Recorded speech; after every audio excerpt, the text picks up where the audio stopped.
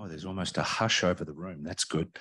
Hi, everyone. My name's Steve Peters. I work with the Energy Division at ADB, and uh, we put a session together for you on hydrogen today, which will cover two slots. The first slot will talk a little bit more about technology and may have an introduction to a bit more about what hydrogen is about.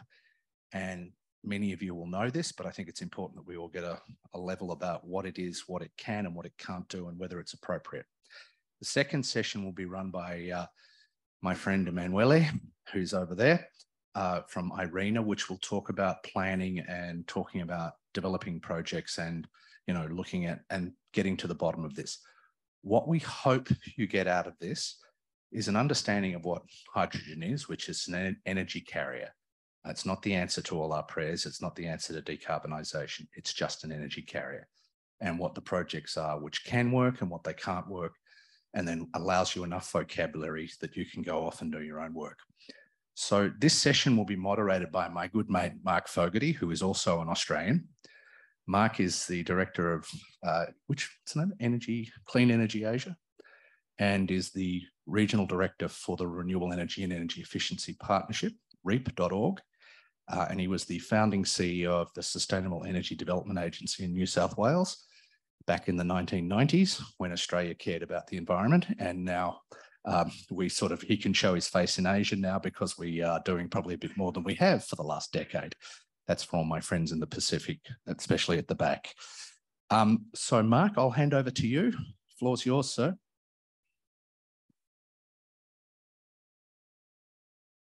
Thank you very much, Steve. Um, what we are going to do, I think we've got a very good lineup of speakers here that uh, we're going to run through. Um, we've got a video to start with from UNIDO. Um, thank you.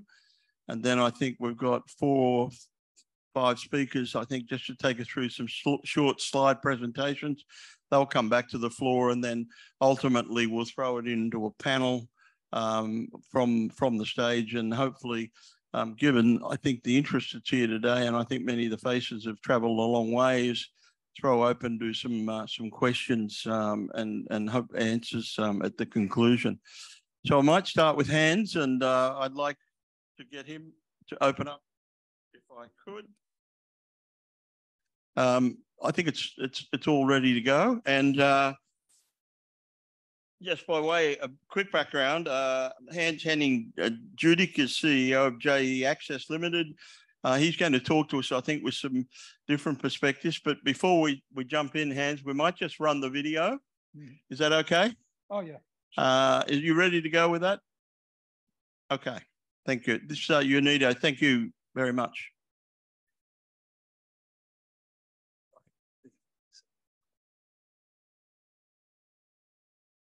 A warm welcome from Vienna, from UNIDO.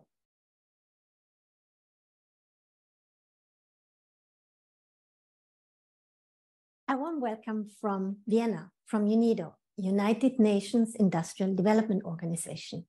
Within the UN family, we have the mandate to promote inclusive and sustainable industrial development for poverty alleviation.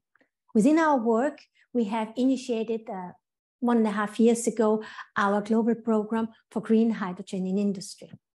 You know that green hydrogen is produced from renewable energy sources and as such is an energy carrier that does not produce CO2 emissions when it is applied in industries. So green hydrogen is a means for countries to achieve their uh, Paris Agreement commitments, but also help to establish a new uh, low carbon industries. Green hydrogen can help is of course crucial for decarbonization of the so-called hard to abate sectors, which at the moment are producing up to 15, average 15% of the global CO2 emissions. Here we are talking about steel, cement, uh, ammonia production, uh, some parts also um, on the glass production. But in these sectors, you don't have alternatives. So green hydrogen is an alternative. But green hydrogen, and that's, and that's coming from the industrial development side, also offers huge opportunities for creating new industries, for creating low uh, carbon industries in developing and transition countries. So it's not just a, an, another commodity, but it can be a really game changer, especially for the global south, to um, trigger new industry development, create jobs, and mobilize investments. So all in this, we have launched, as I mentioned before, our global program for green hydrogen in industry. And this program has uh, two pillars, and both pillars uh, have the aim to advance production, but also application of green hydrogen in developing transition countries. A warm welcome from Thank you very much. Um, we're going to invite Teddy from UNIDO as a country representative to come up and join us, uh, but appreciate that introduction. So we might go back to flick the switch to you again to Hans and, uh, and get you to give us, I think, the perspective, interesting perspective uh, on, on hydrogen.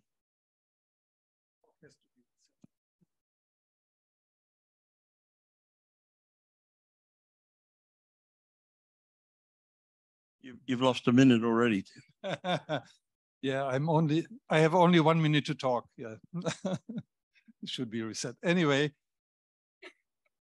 I don't have my slides on there anyway yet.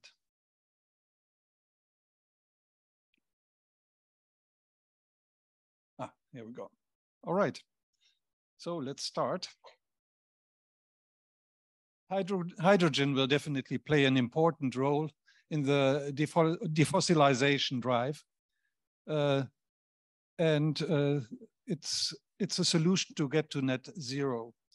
Uh, hydrogen production with Haber-Bosch process is well known since the first decade of the 20th century. So we, whoops, we have to ask ourselves, why is the use of hydrogen still limited to a very few applications? The main uh, uses are fertilizer, urea, desulfurization of fossil fuels, and AdBlue. Uh, I don't want to go too deeply into the uh, mechanics here, but uh, we have to consider that 3% uh, of the global carbon emissions are currently from production of hydrogen.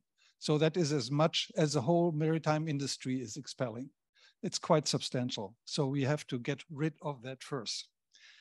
Uh, I feel sometimes if I hear politicians, I, uh, I feel reminded of this uh, cartoon.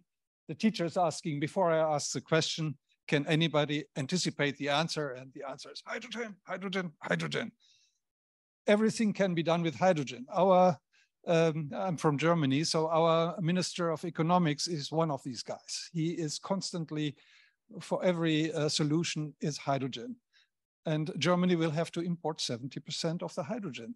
So hydrogen is promoted like the Swiss army knife. That means you can do everything with it. Yeah. So you have chemical and process technology for steel production and, and, and you have aviation and shipping. You can do land transport with it. You can heat with it.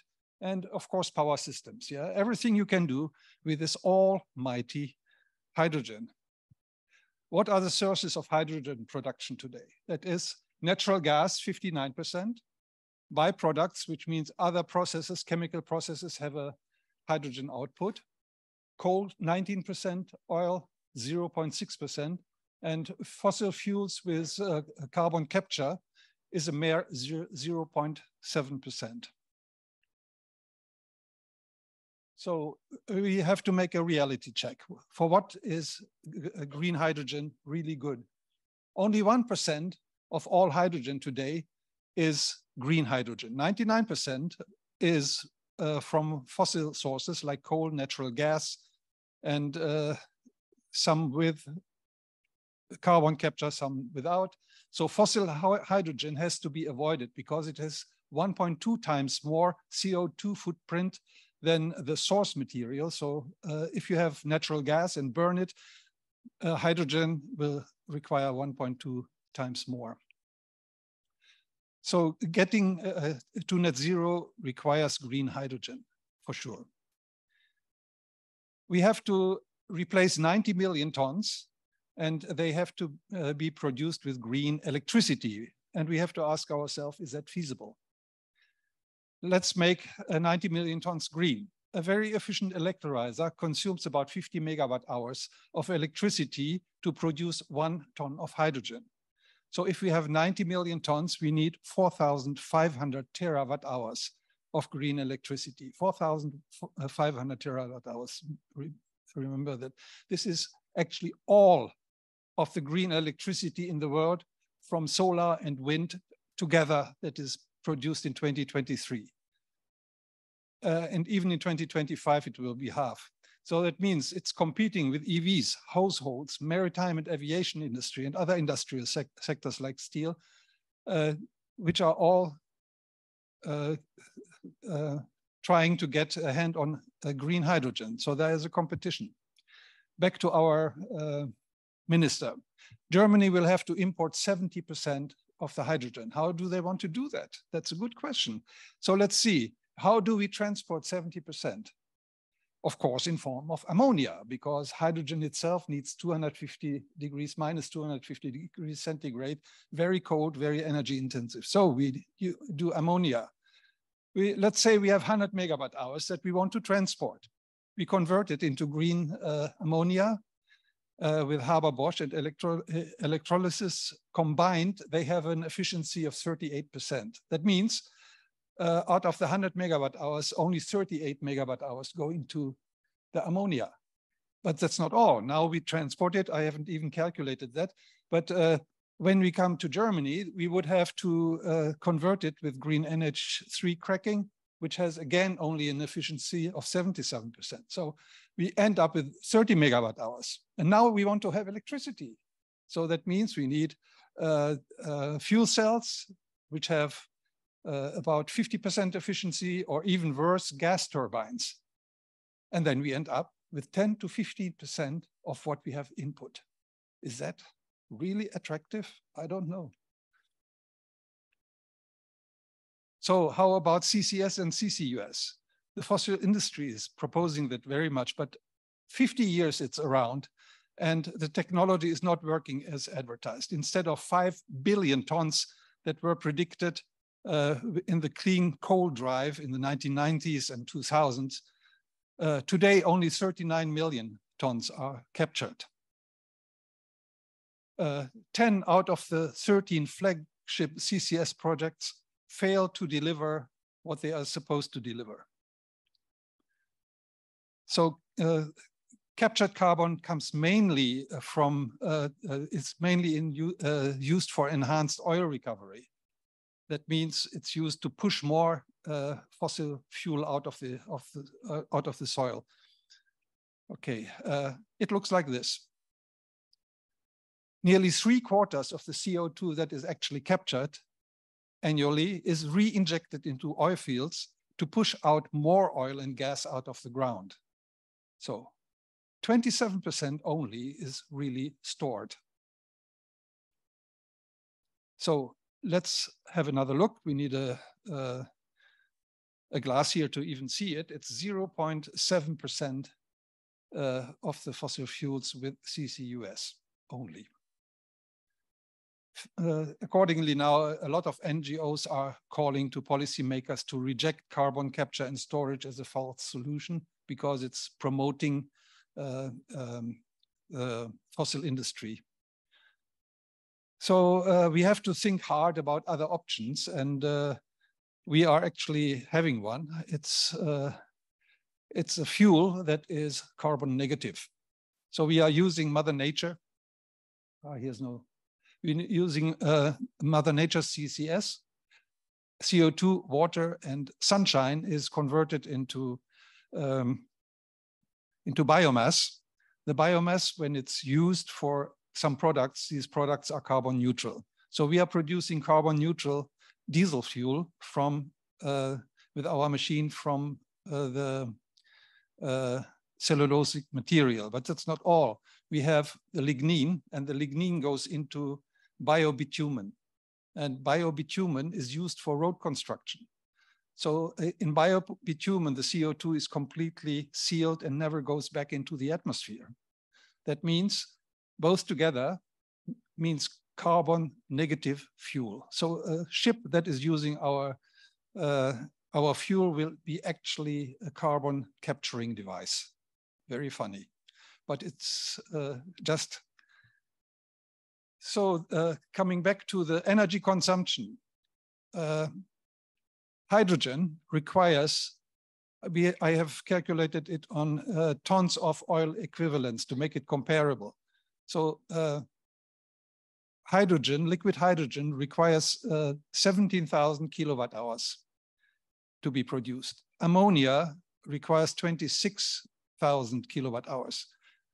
Renewable uh, methanol requires 27.5 uh, kilowatt hours, 27.5 megawatt hours to be produced. Our fuel process requires 400 kilowatt hours. And if we calculate all the collection and uh, pre-processing of the material, we end up at around two megawatt hours. So 10%. I think that's a good solution. Anyway, a little bit uh, advertising for what we are doing. Nonetheless, green hydrogen is very, very necessary for, uh, for producing fertilizer, for still uh, for desulfurizing uh, uh the fossil uh, fuels. And uh, we need it still, yeah. So that's where we should start because that requires 4,500 terawatt hours. Keep that number in mind. Thank you very much.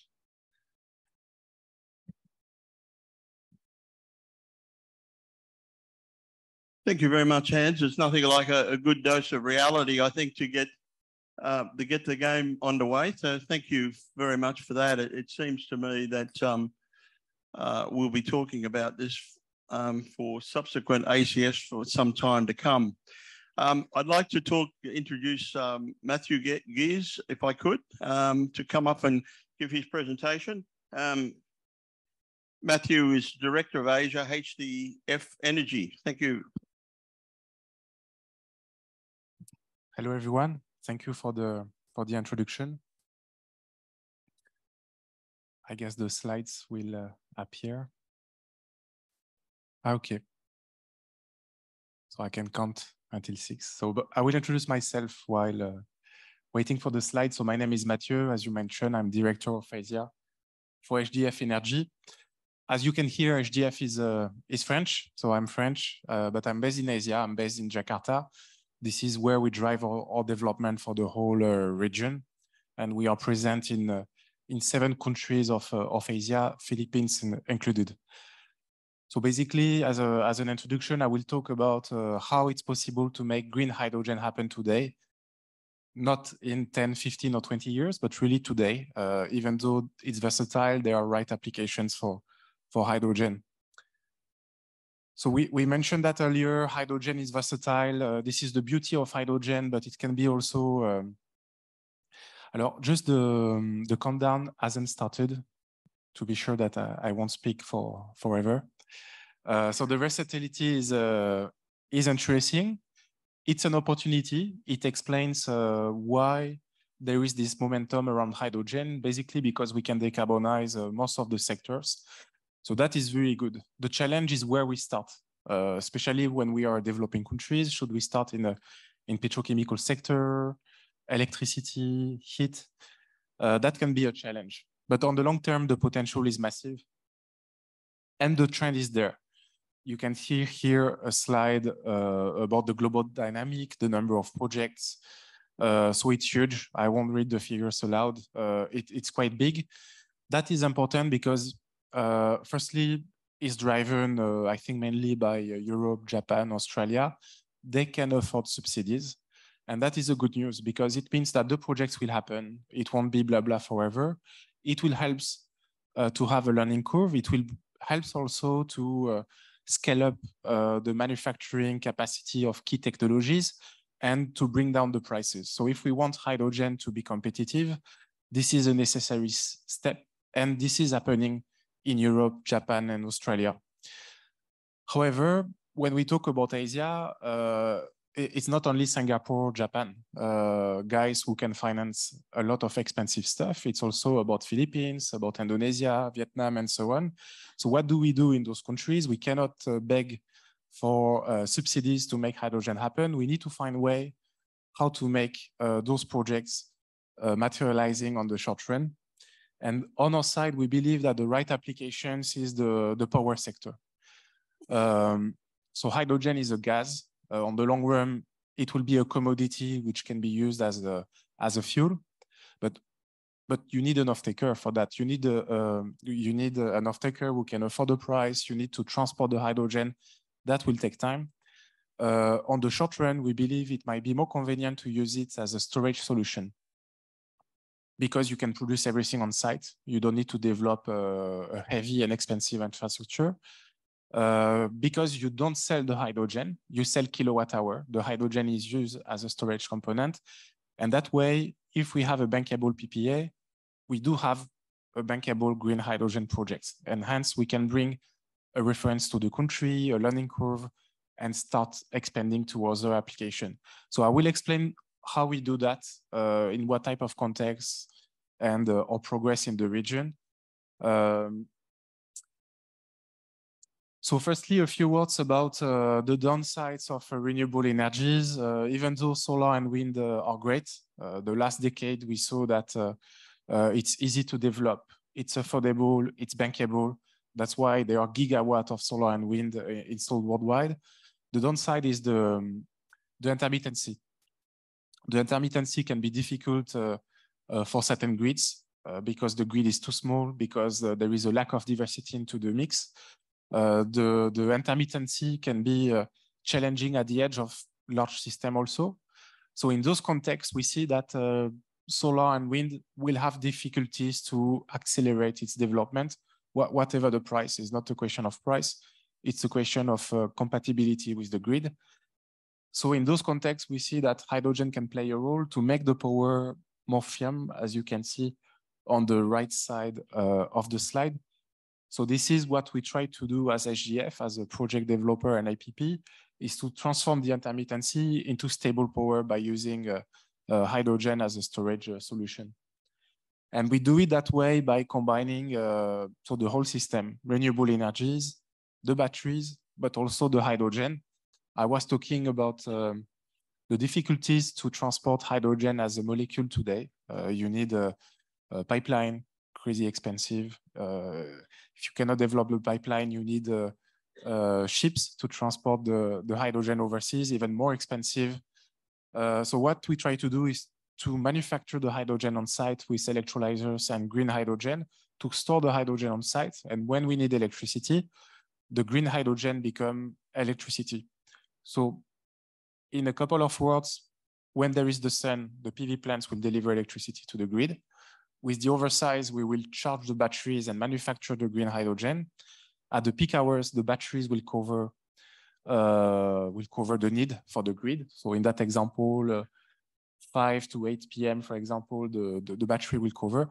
For the whole night, the hydrogen will play a key role because it can deliver uh, electricity for endless amount of hours as long as you have uh, hydrogen available. Unlike the batteries, which has more limitation in terms of uh, of time of services, of cycling, of performance also on the long run, as you can see with uh, with your phone.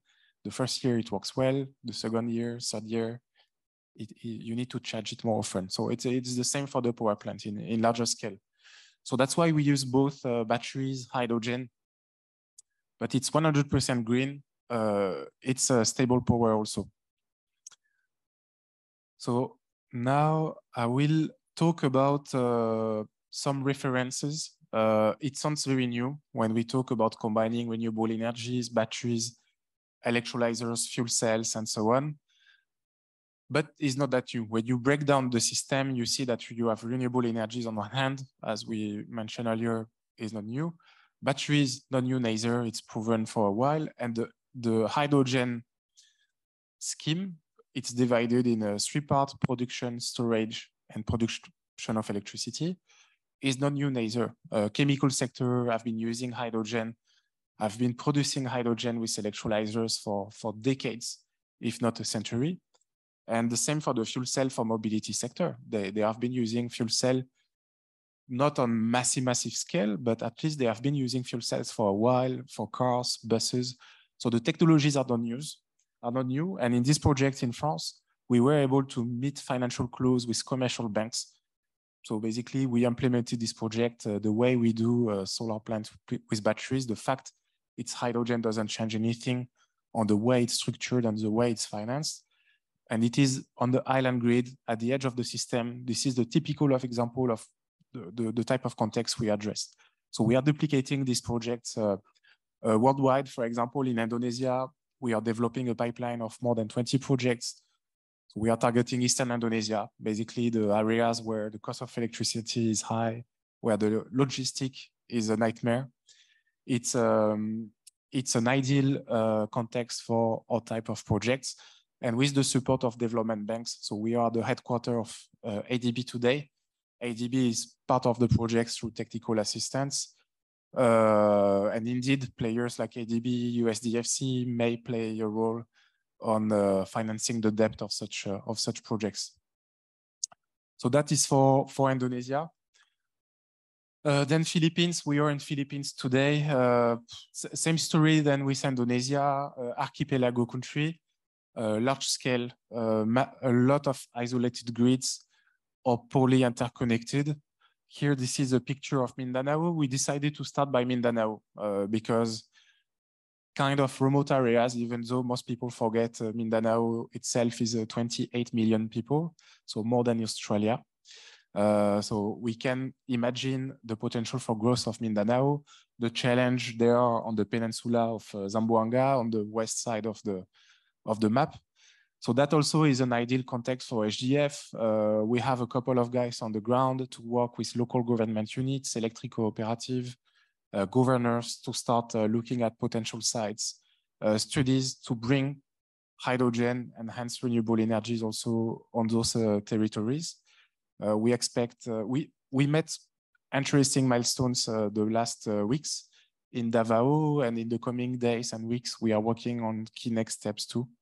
And that, again, it's a way to bring a, a hydrogen into Indonesia and Philippines because those two countries won't be able to uh, subsidize the French, Japanese, or whatever firms to make hydrogen. So we need to bring added value last but not least to, to, to bring another type of example of the kind of context we address, not, not from Asia, this is in Africa.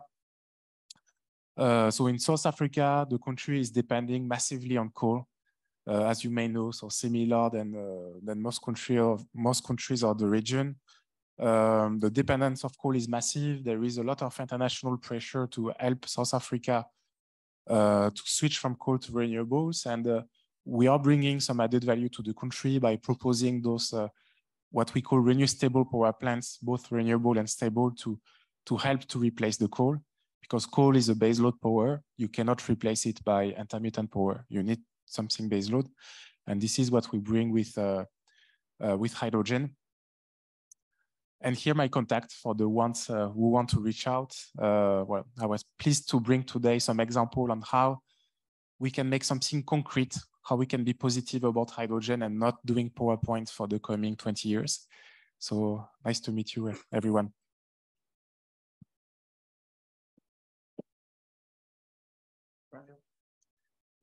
Thank you very much, Matthew. I think fantastic examples, I'm sure, um, which um, I think demonstrate great relevance to the to the markets that we're focusing here uh, in ACEF. So I'm, I'm, sure there'll be some questions um, later on. Um, I'd like to introduce uh, Mridula uh. She's going to come and talk uh, to us, I think, from the perspective of, uh, of solar, from the Solar Alliance. Um, so thank you for your time.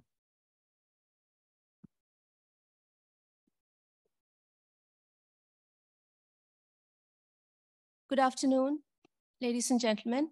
Um, first of all, I would like to thank ACEF and the session organizers for this kind invite. Um, if you could load my presentation, please.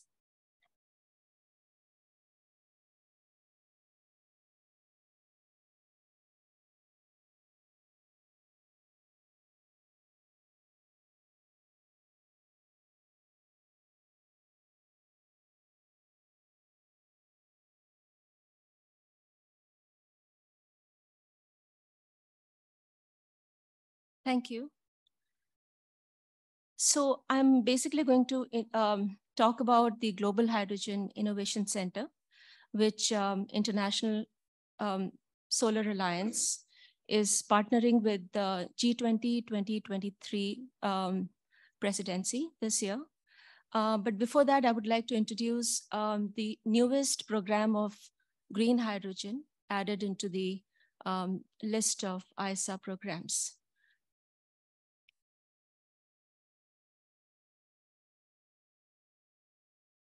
Okay. Yeah, so this is the, um, the latest program um, on green hydrogen that was added to ISA um, in the 2021 assembly, our annual assembly. And the, the main focus of this program is to accelerate uh, solar hydrogen production, utilization, and trade across the borders and um, in the ISA member countries. So as we speak, we have 115 ISA member countries and they, um, they are categorized into three or four regions, um, Latin America, Europe and, Europe and others. And then the third one is Asia Pacific and Africa. So we have 115 membership as of now. So it gives us big platform to um, work on this.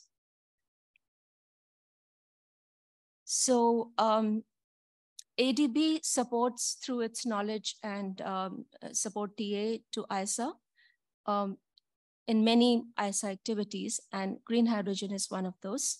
And the support and assessment, uh, basically we, um, this program, we support the member countries and assessment and um, facilitation of solar hydrogen readiness level um, by doing these five verticals.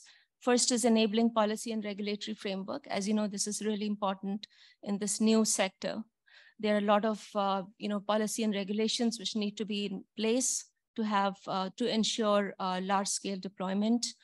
The second is identifying technology gaps and go-to resources. Now, technology gaps are important because the people from electrolyzer uh, segment would know that there are different kind of electrolyzers. Some are uh, time and tested, a few are upcoming, and, um, and, some some of them have pros and cons related to um, you know different um, um performance um, um, requirements. So with with that, we have a lot of technology gaps to be filled, and then we identify go-to resources in those areas. And being ISA being giving a big platform, it's easy to map the uh, resources across our membership. And the third is facilitating investment environment for commercially viable solar hydrogen projects. As Matthew just um, very beautifully covered that what's required on that side. So I will not go deep into this. The fourth is identification of viable projects pipeline across solar hydrogen value chain. And the fifth is creating global synergies. Again, because we have a huge membership, it, it's important for us to create and provide to the stakeholders across the value chain, the global synergies and leveraging partnerships with public and private sector.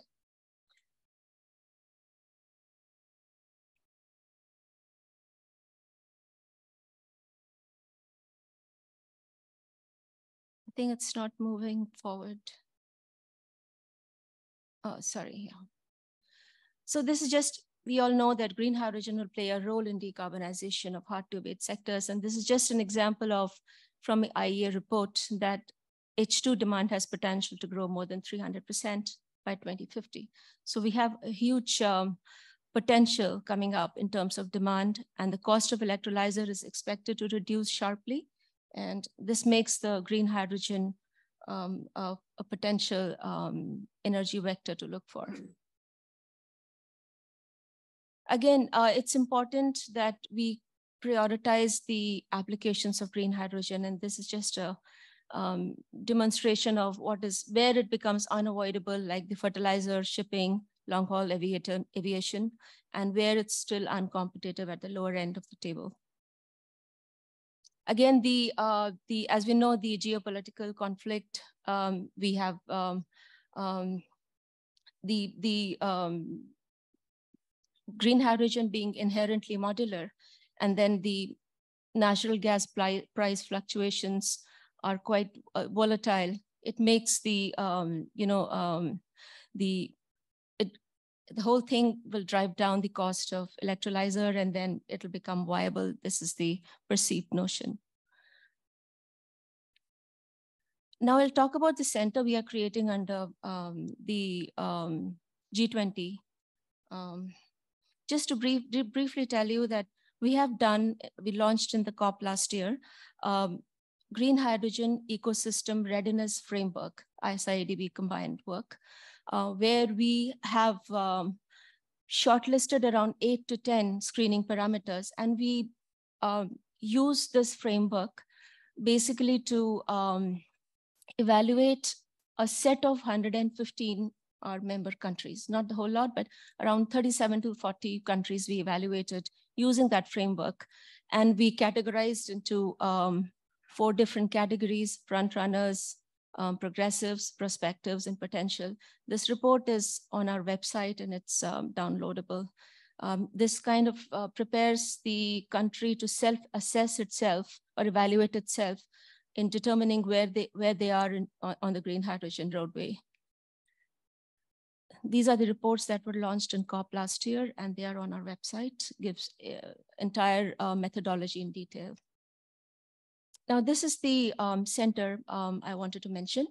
Uh, this is, ISA is supporting G20, as I mentioned, in creating a center of excellence. Now, um, ADB, of course, is supporting ISA in this. And um, as countries develop green hydrogen ecosystems, there is a necessity for a knowledge repository. And most of the currently existing hydrogen portals, um, I have a map of those, um, talk about hydrogen across the colors or origins. They are blue, gray, blue, black, green. But what we plan to do here under the G20 partnership is to create a dedicated green hydrogen portal. And it has, uh, it's aimed to be a one-stop uh, gateway to get all the necessary um, knowledge and uh, tracking the case studies, progress, and launching, um, giving opportunity for startup launches, and also train, giving certified training courses. And this is the uniqueness of this portal. Um, the creation of this Green Hydrogen Innovation Center with the name of our Center of Excellence um, is basically provide three main pillars of support, which is knowledge dissemination, best practices and learning, network and partners. And um, so we aim uh, to make this portal a go-to portal. An entire energy community will benefit from GHIC because it has all the information available and it, it's dynamically, um, it's planned to be dynamic and we will have year-to-year -year, um, progress and um, uh, tracked on this. And this will be hosted on the ISA website. So even when the presidency shifts to next country by this year end, it will continue to assist our members through this portal. This is the my second last slide. Um, so the unique features, I would like to int introduce two or three different things here, which are not existing elsewhere.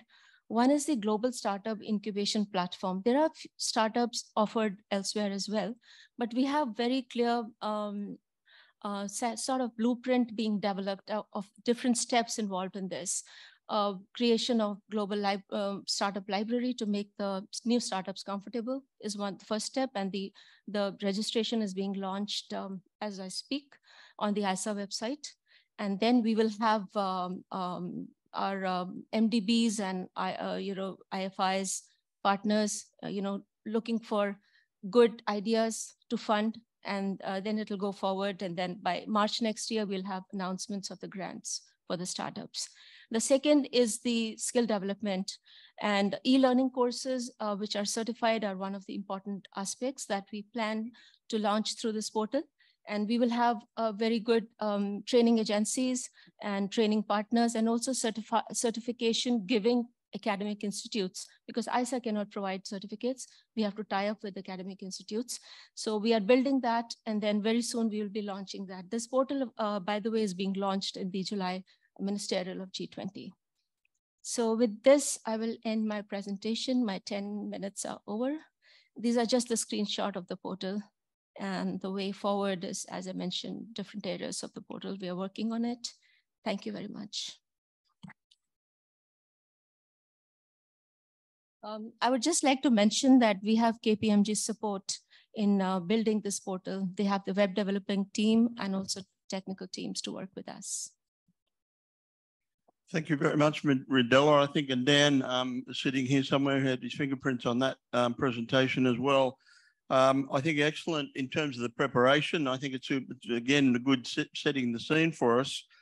Um, we'd like then to jump into the, one of the big markets in, into India, and um, uh, we could ask uh, Gurpreet uh, Chugh to come up, Managing Director of uh, India ICF, not not not IFC. Thank you. Thank you. Uh, can you all hear me well? Brilliant. So I'm pleased to be here and seeing so many faces after lunch. Actually, I quite enjoyed Hans's presentation right after lunch, uh, all the questions that he asked. A nice wake up call, right? After a heavy lunch for those of you who've had. But you've got to ask the questions and then the answers will come. And I think uh, my attempt is going to answer some of the questions around hydrogen. It's a fledgling fuel, but it has a bright future. So um, so, ladies and gentlemen, I work for ICF, um, and uh, it's not about who or what ICF is. I want to introduce ICF by what we do. Uh, we work in sectors that matter in, around the world. For the last 50 years, we've been supporting our clients in issues that matter, in issues that matter to ICFers and the people, 9,000 people that we have that are passionate about all these issues. We are climate conscious. We are probably among the first few professional firms that went carbon neutral in 2005. So that's ICF. If you want to know more about us, you're welcome to talk to me. So hydrogen, coming to hydrogen, uh, I'm going to talk about clean hydrogen. Uh, people are calling it the fuel of the future. I call it back to the future. Why do I say that? You know, Hans mentioned that in 1900s, there was work on hydrogen. But if you go back to 1800s, hydrogen was the first fuel to be used in the internal combustion engine, a mixture of hydrogen and oxygen. So it's, it's an old fuel, it's been around. We're just getting to know better about its possibilities and learning about it. Ladies and gentlemen, as you all know, there's a varied nomenclature. Even I get confused by the various colors. You know, I love all these colors. Uh, there's green, blue, turquoise, pink, and so on, and the list continues. But the focus really is on clean hydrogen and the emissions that come out of those. The advantages of hydrogen are well known. Uh, and that's the reason why all countries are looking at hydrogen as a potential fuel. It's renewable, near zero emissions, provides a lot of energy security. And that's an important point for countries like India and other import dependent countries. And I'll come to that in subsequent slides. Energy, it provides local energy security as well. And it provides a solution for hard to abate sectors. As I said, the world is just waking up to hydrogen. The growth in the last few years has been limited, but we believe that the future is exponentially higher. Many countries around the world are taking different initiatives. They are taking targets, whether these are volume targets or these are price targets. Around the world, you see announcements where companies are saying we are targeting certain volumes of hydrogen. Now, you might, of course, want to evaluate all of these and say, do you have the resources uh, to be able to meet these commitments? Do you have the volumes of renewable energy if it's going to be uh, all green? Yes, these are challenges. But I do think about the example of India when in 2014 we took a bold target of 175 gigawatt of renewables um, and nobody thought it was possible. Well, we reached 120. You can look at it and say the glass is half empty or we missed by 50, but you can look at it and say we were at 20 and we are today at 120 in a matter of seven years. We've grown five times that's an achievement to talk about. And I think these targets serve that purpose. They are like a wake up call. And these are important to be set by the people in position to wake up the industry, to get everyone going and get working towards achieving some of these objectives. Coming to India, uh, many of you may already know, India is today already the third largest producer and consumer of hydrogen in the world, just after China and the USA. Majority of the hydrogen consumption in India comes from two sectors, refining and fertilizer. In refining, it's used for uh, improving the fuel quality and desulfurizing it. In fertilizer, used as ammonia.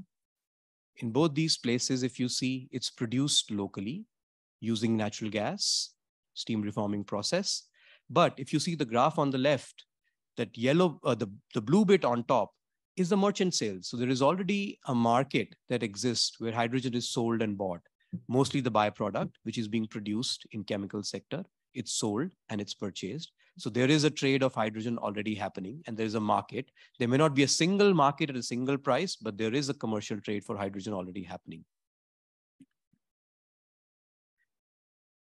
So if we look at India's demand forecast, and this is done by our team based in New Delhi, it's a, you know, we've done a bottom-up analysis of every sector which can potentially consume uh, hydrogen. And we've looked at um, all the big sectors like refining and fertilizer, but all the other sectors like industries as well, methanol, glass, and so on and so forth. And we've gone and looked at each and every district in India and mapped the demand. And on that basis, uh, you know, in we believe that from six to seven million tons today, uh, we might end up anywhere between 15 to 25 million tons of demand for hydrogen by 2040, uh, based on different assumptions, different assumptions around economic growth, different assumptions around cost reductions, and different assumptions around policies that the government might have to support development of hydrogen in the region. But certainly that's um, a large market, uh, anywhere between two and a half to four times growth from where we are today to 2040. What does it mean for suppliers? It means it's a big market. Uh, if you look at the two lines there, the one in green is the green hydrogen line, which initially takes a bit of time as per our forecast to pick up. But then by 2035 and 40, uh, once it picks up and once the industry ecosystem is set, the market size for green hydrogen in India could be anywhere between 30 to 35 billion of annual revenues for companies that are producing and selling hydrogen, green hydrogen in India. Imagine just a 1% share of that is $300 million annual revenue. So it has a large potential for suppliers to wake up, take notice, and address the market because the demand is definitely there and it's growing. Some of you might say that, oh, this is, you know, very uh, bullish demand forecasts. But let me remind you, the growth that we are going to see in India in energy consumption over the next 30, 40 years, even our most optimistic demand forecast means that we'll probably not even reach 5% of the energy mix from hydrogen, which brings me back to the point that was raised in the first presentation, that hydrogen is definitely a part of solution, but there are many other things that are needed to solve the complicated energy requirements puzzle that there. It's, it's a piece in the jigsaw, uh, but a very important one.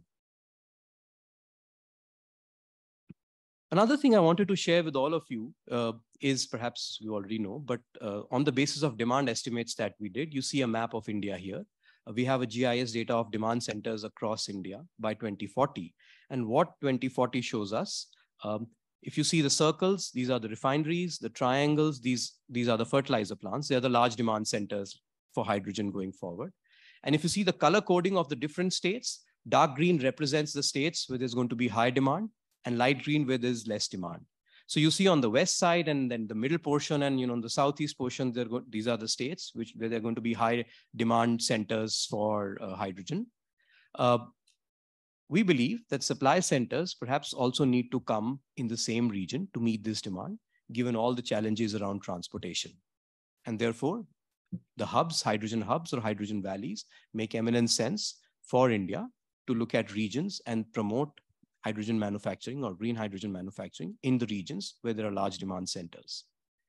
Talking very briefly about uh, transport, I'm not going to delve into it. All of you know it's very difficult and costly to transport hydrogen as it is.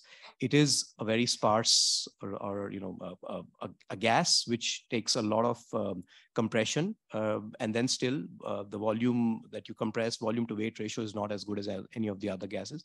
If you liquefy, it's again very difficult. You need to reach minus 250 degrees centigrade. LNG is already at minus 160 degrees. Uh, it's difficult to manage. The industry knows how to manage it, but imagine reaching 250 degrees and keeping it at minus 250 degrees for transport. It's, it's very complicated and costly. So what starts to make sense if you've got to transport, probably you look at ammonia and you look at uh, liquid organic hydrocarbon carriers. But effectively, the solutions have to come up where production has to be nearer to the demand centers. Or if you convert it to ammonia, in places where ammonia can be directly used as a fuel or as a feedstock, it starts to make sense. Converting it back to hydrogen, of course, is a complicated and a costly process through cracking, not yet, not yet well established. Economics are always very important. And here I have two potential uh, pictures. Uh, the economics of green hydrogen versus any other form, say gray hydrogen, will depend on certain key parameters like fuel prices, fossil fuel prices. When natural gas prices are high, it's easier uh, for green hydrogen to compete. And otherwise, it makes it slightly more difficult. But most importantly, it's the government support that can provide initiatives in the early years to support green hydrogen and become uh, and make it become more uh, economically competitive. Talking about incentives, Indian government is indeed providing certain incentives. I want to talk, there are many policies, but I want to talk about two of them. The first one is National uh, Hydrogen Mission, which was launched in 2021 and updated in 2023. There is a budget outlay of $2.4 billion already provided to this. So this mission is funded and it aims at 5 million tons of production capacity by 20, 2030 of green hydrogen and expects about $100 billion of investments coming in. The green hydrogen policy on the other side is to support the renewable energy that is to come and needed for green hydrogen and reduce the cost of renewable energy through providing certain incentives. Finally, what's in it for the government? We believe it's a win-win because locally produced green hydrogen can help the government achieve about 15 to 20 billion of savings in fossil fuel imports. And that is a big burden on Indian government and many other developing countries which are today importing crude. And it kind of com completely uh, destroys the um, fiscal position when the oil prices go up. Finally, uh, so what are the key takeaways that you know I'd like to leave you with? Uh, five key points. Uh, we expect the demand for hydrogen in India to increase substantially by 2040. However, it will still be a minor component of the energy mix. We believe supply will come online because there's a large market to tap and there are suppliers already like HDF Energy, which is already looking at these markets and many more. Transport will remain a challenge and therefore the hubs concept where production is near to the demand centers will make sense economics are very important, but will depend on government incentive as well as market drivers and technology improvement. And finally, for the government, if they can achieve a lot of um, foreign exchange savings, if they were to look at locally produced hydrogen uh, instead of fossil fuel imports. With that, ladies and gentlemen, I'd like to uh, finish my presentation. Thank you so much. I know it's been flashing for a minute or so. Uh, I'm over time, but thank you.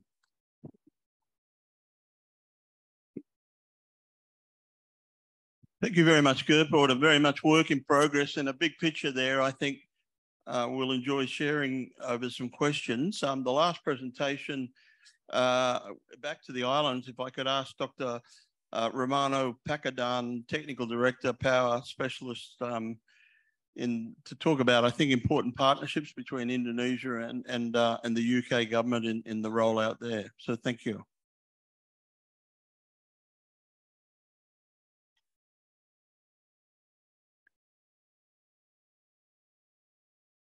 Thank you, Mark. Uh, I just would like to introduce myself. Uh, my name is Romeo Pacudan. I'm from the Philippines, but in the past 30 years, I was just just like any other Filipinos. I work abroad. Uh, I, I moved to the UK uh, two years ago, but before that, I, I spent nine years as uh, leading the policy think tank of the Brunei government on sustainable energies. So uh, I was with the Prime Minister's office uh, since 2012. And then in 2021, I moved to uh, the UK. And before that, I was also a researcher at the uh, Risø National Laboratory in Denmark. Uh, it used to be a nuclear research facility in, in, in Denmark. Uh, the uh, I represent, uh, I, I, I'm one of the technical directors of Ricardo Energy Environment, and Ricardo is actually is a huge a consulting firm, and we are actually manufacturing the engines for several uh, uh, cars in, in the UK. And we are also involved in, in several hydrogen projects in the, uh, in, in the UK and, and some in Europe. But what I'll be sharing today is our experience, uh, recent experience in Indonesia. So uh, we were asked by the government to assist them developing the national hydrogen strategy. And I think it was really appropriate that Hans Henning started the, the presentation because he asked a lot of questions. And the first answer is that we need to plan.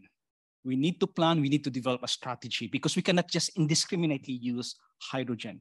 And this is what I'm going to share. And, and, and, and, is this the one? Yeah, oh, here, okay.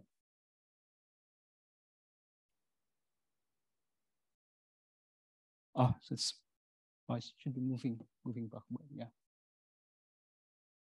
So I'll not mention about the company, but you can find it in the, in the website.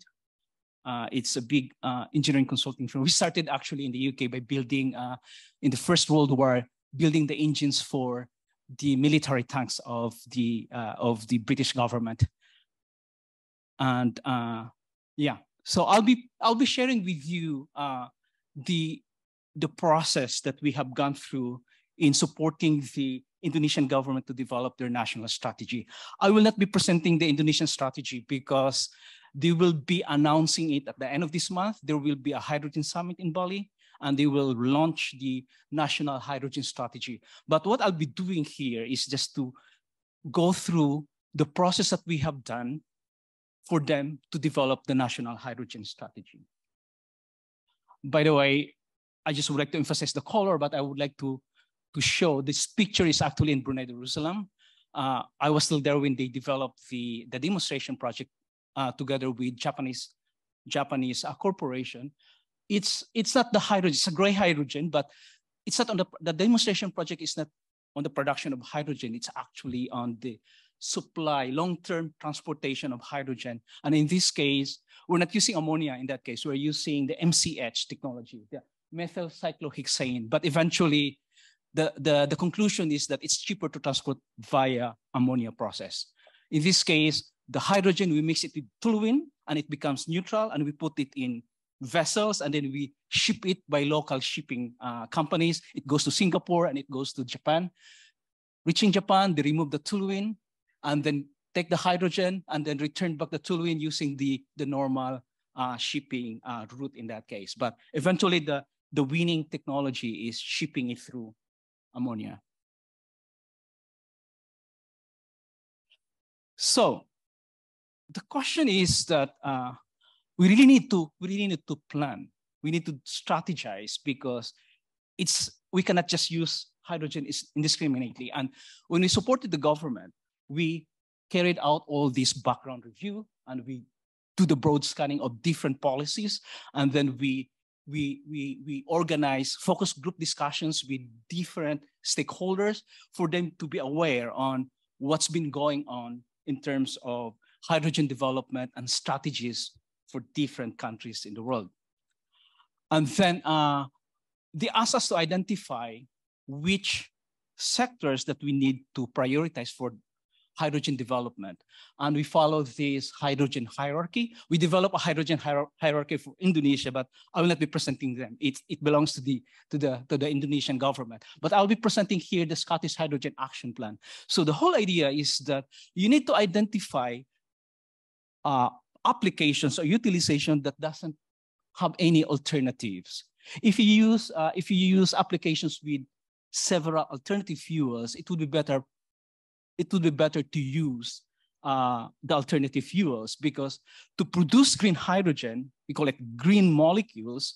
We need to produce. Uh, you need to to to produce uh, green electrons first. You know, green electricity there's already an efficiency loss and then you convert it into hydrogen, there's a lot of efficiency loss there and then you produce energy again. So it's efficiency wise, it's relatively low and the cost of producing it is relatively high. So uh, we need to identify, we need to strategize. Not all applications we can use hydrogen. Well, the UK approach or is just looking to the hydrogen hierarchy or we develop hydrogen hierarchy for Indonesia, but the, the, the German approach is you can also use a sort of a, the matrix, like what are the new regrets application, what are the controversial application, and what could be the bad idea for the utilization of hydrogen in that case. So when we help them develop the concept of the strategy, the question is that why is it uh, the hydrogen economy is not developing? So we look into the problem tree analysis and saying that why is that happening? One of the reasons is that there's a market failure. And that's a reason why you really ask the government to intervene. The government to, to, to intervene because there are market failures. And, and we identify what are the root, causes of this uh, non-development of the hydrogen economy. And then uh, from, from the, the, the, the problem, the causes and the effects, we convert it into objectives and it becomes an objective tree. And from the objective tree, we identified uh, all those problems, we converted it into results. And the results, desired results. And when we identified all those desired results, we group them or lump them together in terms of what are those desired results that will contribute to the creation of the market. The other one is that what are those uh, desired results that will strengthen the energy security and energy sovereignty? And then what are those desired results that uh, supports the export of hydrogen? And then we have all those elements. And the question now is that, okay, these are the desired results. Why it's what, what, what are the challenges? What are the barriers? What are the market failures? And then we try to identify what are the specific measures. So those specific measures are actually a component of the strategy. And of course, I will not mention, we will wait for the Indonesian government to release the national strategy by the end of, by the end of this month. So that's how the process uh, in, uh, that we have uh, uh followed when we developed the the strategy for Indonesia. And then we use the theory of change framework to visualize the hydrogen economy. So we say that, okay, these are the desired impacts, the goal, outcome, outputs, activities, and what are the uh, market failures, the barriers that we try to address in, in, in, in, in, in this, in this strategy. And then, of course, after developing this uh, uh, theory of change framework, we use also uh, this framework to develop our monitoring framework. So it's a long-term monitoring framework, monitoring of progress. So in the next one year, two years, and three years, what are the indicators that we would like to check in order to uh, to to to see the success of our our strategy? Okay. Uh, by the way, I just would like to return back. One of the one of the strategy, strategies here is actually to to to to to develop uh, or to, to to to generate hydrogen for off-grid systems, and I think this is actually what uh, Matthew uh, was presenting er earlier as, as an option. But um, our partner actually, by the way, uh, we were funded by the UK Pact, and then our partner, the local partner, uh, was funded by the FCDO, uh, the, the, the, the British Embassy in, in Jakarta. And they were asked by PLN, the state util utility, they were asking the question whether hydrogen is an option for uh, off-grid systems. And quickly, I just would like to show uh, the analysis that we have done. They gave us one island as a case study, and then they asked us, can you assess whether it's economically viable to uh, do hydrogen uh, in this island? So it's it, one big island. There are three sites. There are microgrids that are uh, supported by diesel generators. And we look into the resources. There's geothermal energy resource, and there's only solar energy resource as well. And then uh, what we did is that we, we tried to identify what are the different solutions, whether a centralized system, a geothermal energy, or a battery storage, or the green hydrogen. And, uh, and then we, we, we run a simulation analysis to get an optimal configuration to meet the demand uh, uh, uh, for, for each specific uh, microgrid. And the, the, the, government asked us when would be the hydrogen option economical. So we, we look into the technological learning curves and then we put it in our model. And then we run simulation analysis and we get results in terms of what would be the cheapest option for uh, those microgrids. Of course, the centralized system is, is the cheapest option, geothermal energy. But the point is that for a small island, the capital cost investment would be very, very high and the demand is relatively very, very low. So For other islands with no geothermal energy, your option would be battery storage and hydrogen, green hydrogen option. And uh, we run for 2024. If we develop the project now, you have the, if you develop now, the project will be operational next year.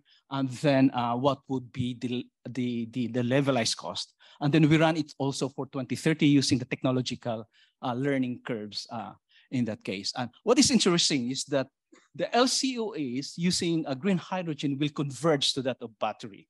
It's interesting. By 2030, it will become closer. Of course, there are some uncertainty in our, in our analysis, but the point is that towards the end of this decade, green hydrogen will be competitive with battery storage. This is very, very interesting. And then we, we, we, we did this ADB type uh, economic analysis, and the conclusion is more or less the same. And what is interesting is that by 2030, green hydrogen will be already economical for island grids. So our, our, our conclusion is that green hydrogen with its projected technological learning will become an economically viable option for island microgrids towards the end of this decade and will form part of the technology mix to decarbonize, decarbonize nation's economy.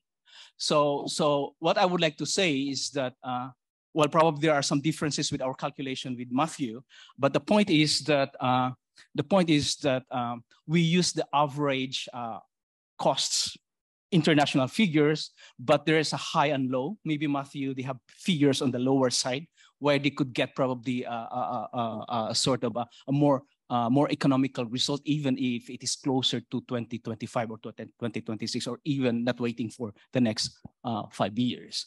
And, uh, and I would like to say that uh, yes, uh, we, we need to strategize. We need to help the governments, and especially in these parts of the world, especially smaller islands, Pacific islands, or in the Philippines, we need to help the government. We need to help the likes of Matthew and other investors to come in and invest by developing a national strategy and by guiding them on which direction that they should go and what would be the incentives that they will get in order to uh, realize the hydrogen economy. With that, I would like to thank you for your time and attention.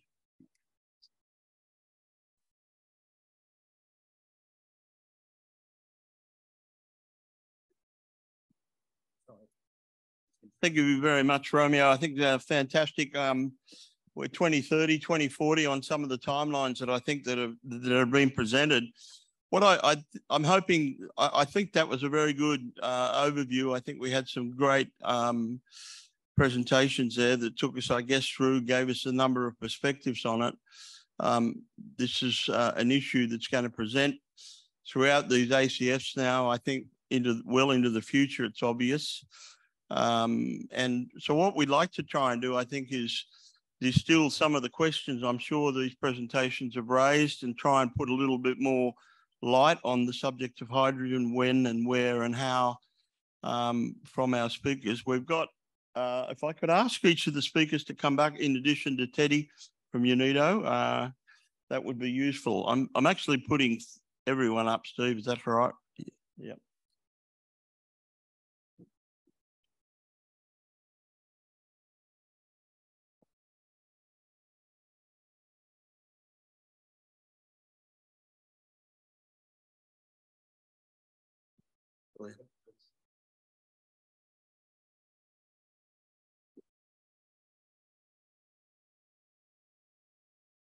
Thank you. Just while we're getting a little settled, I'd just ask for the normal courtesies if we could. Um, just people, uh, questions coming from the floor, just to quickly identify yourself. And I think if you can help us a little bit uh, by pointing um, to who you're directing the question, that would be fairly have, useful. We have one from the app um, from Alan Kay. The introduction stated hydrogen is not the way to decarbonize, but most countries have started hydrogen is crit- stated hydrogen is critical to decarbonisation.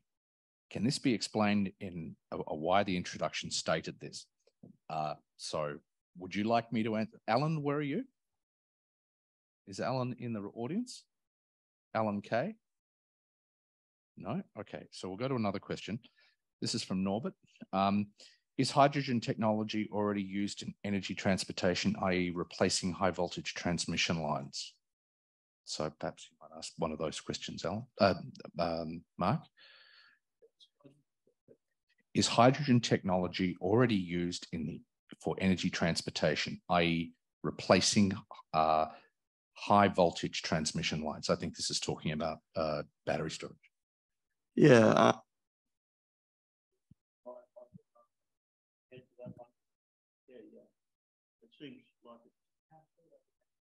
Can you all hear me? So I'm, I'm not sure I got the full question, but maybe it was around transporting hydrogen or uh, replacing power transmission. Well, okay. Um, well, I think in the broad con concept, you know, hydrogen is an energy carrier. But the question really is about what do you want to transport? You want to transport something that is easy, cheap, convenient to transport. Today, hydrogen is very difficult to transport. Even if you convert it into green ammonia or liquid organic hydrocarbon, transporting that is not cost effective compared to transporting electricity. So, uh, you know, as far as my understanding goes, I think transporting electricity uh, for long distances remains uh, a solution that will be with us for a long time. Hydrogen transport will perhaps be very expensive until, you know, we discover some breakthrough technology. So hydrogen, hydrogen is not the ideal uh, energy carrier for long distances. Uh, it's best to use hydrogen where it is, um, generate hydrogen where it is needed. I hope I hope that answers the question. I hope so. I was just wondering, I mean, given your target scope of, of uh, 20, 45% still just for the hydrogen production, it's unlikely to be um, replicating transmission in any time soon. Okay, do we have some questions from the floor?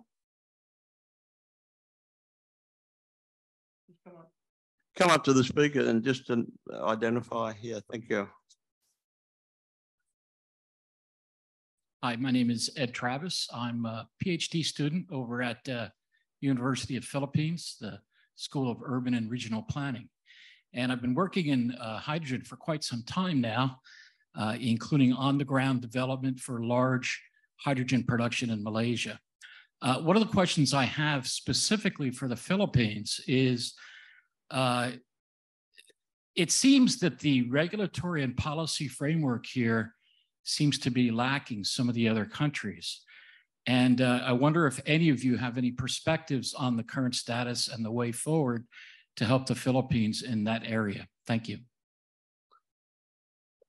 Matthew, I'm wondering whether, given your work in Mindanao, you have had a chance to reflect on policy there. Yeah, so, so this topic is indeed critical. Uh, if we don't know what is the regulation, how to develop, how to implement the project.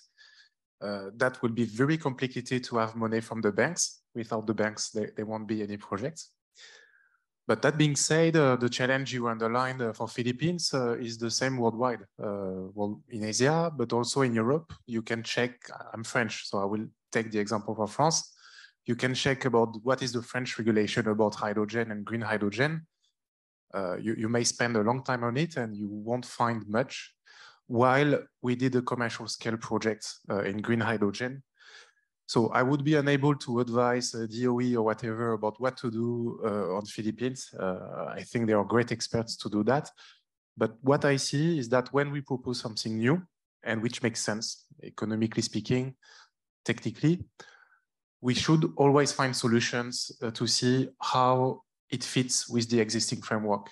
For example, what we cannot do, when I say we as the industry, is to wait and hope for a new regulation to be perfect and to address our projects because we may wait forever. Uh, but we, we need to investigate how uh, it fits with the existing framework. Like, can we, can we be an exception to the existing rule? Maybe the development institutions have a, a role to play also. Uh, because for the private sector, it's difficult to lead uh, such topics, while the development banks can play an independent role by advising the government and how to make the first uh, projects happen. Can I can I add something, Mark? Mark, can I can I add something? Yeah, yeah please sure. go ahead, Roma. Uh, yeah, uh, yeah, that's our proposal, and we, we we would like to team up with ADB to to to develop develop a case study for other ADB member countries if we could develop a strategy here in the Philippines or probably in the in the Pacific Islands. And the point is that it's really difficult for investors if you don't have a clear policy. And I think what is required for the Department of Energy is to issue a circular uh, similar to that of renewable energy. And they have to define uh, but, but, but the point as well is that they need to identify what would be the optimal uh, uh, application for, uh, for hydrogen. You cannot just say hydrogen for everything. Hydrogen, you need to identify all those, and we need to do that study for the government. So we're, we, we're interested to team up with ADB and any donor organization, probably UNIDO, if we could support the governments in the region. Currently, we have only Singapore, I think they have the hydrogen strategy. And I'm not sure about Malaysia, but uh, well, Indonesia, they will be releasing soon. And hopefully we could see Matthew's project uh, be launched in, in Indonesia in that case. Thank you. Thank you, Romeo. Um, you just come up to the microphone, and introduce yourself. Thank you. Uh, yes, hello. My name is Ed Rahal, and I work on a USAID project in Bangladesh. Uh, my question to the panel is, uh, what about the state of the use of hydrogen in Japan? It seems like during the opening session, uh, we had a very positive uh, presentation on what's going on in Japan with respect to, uh, you know, hydrogen power generation. Can anybody comment on that? I mean, there was no mention to anything that's going on in Japan during this presentation. Thank you. Yeah, maybe I can say a little bit about it. Uh, Japan is my second home. Uh, I'm German, but I've been living longer in Japan than in Germany.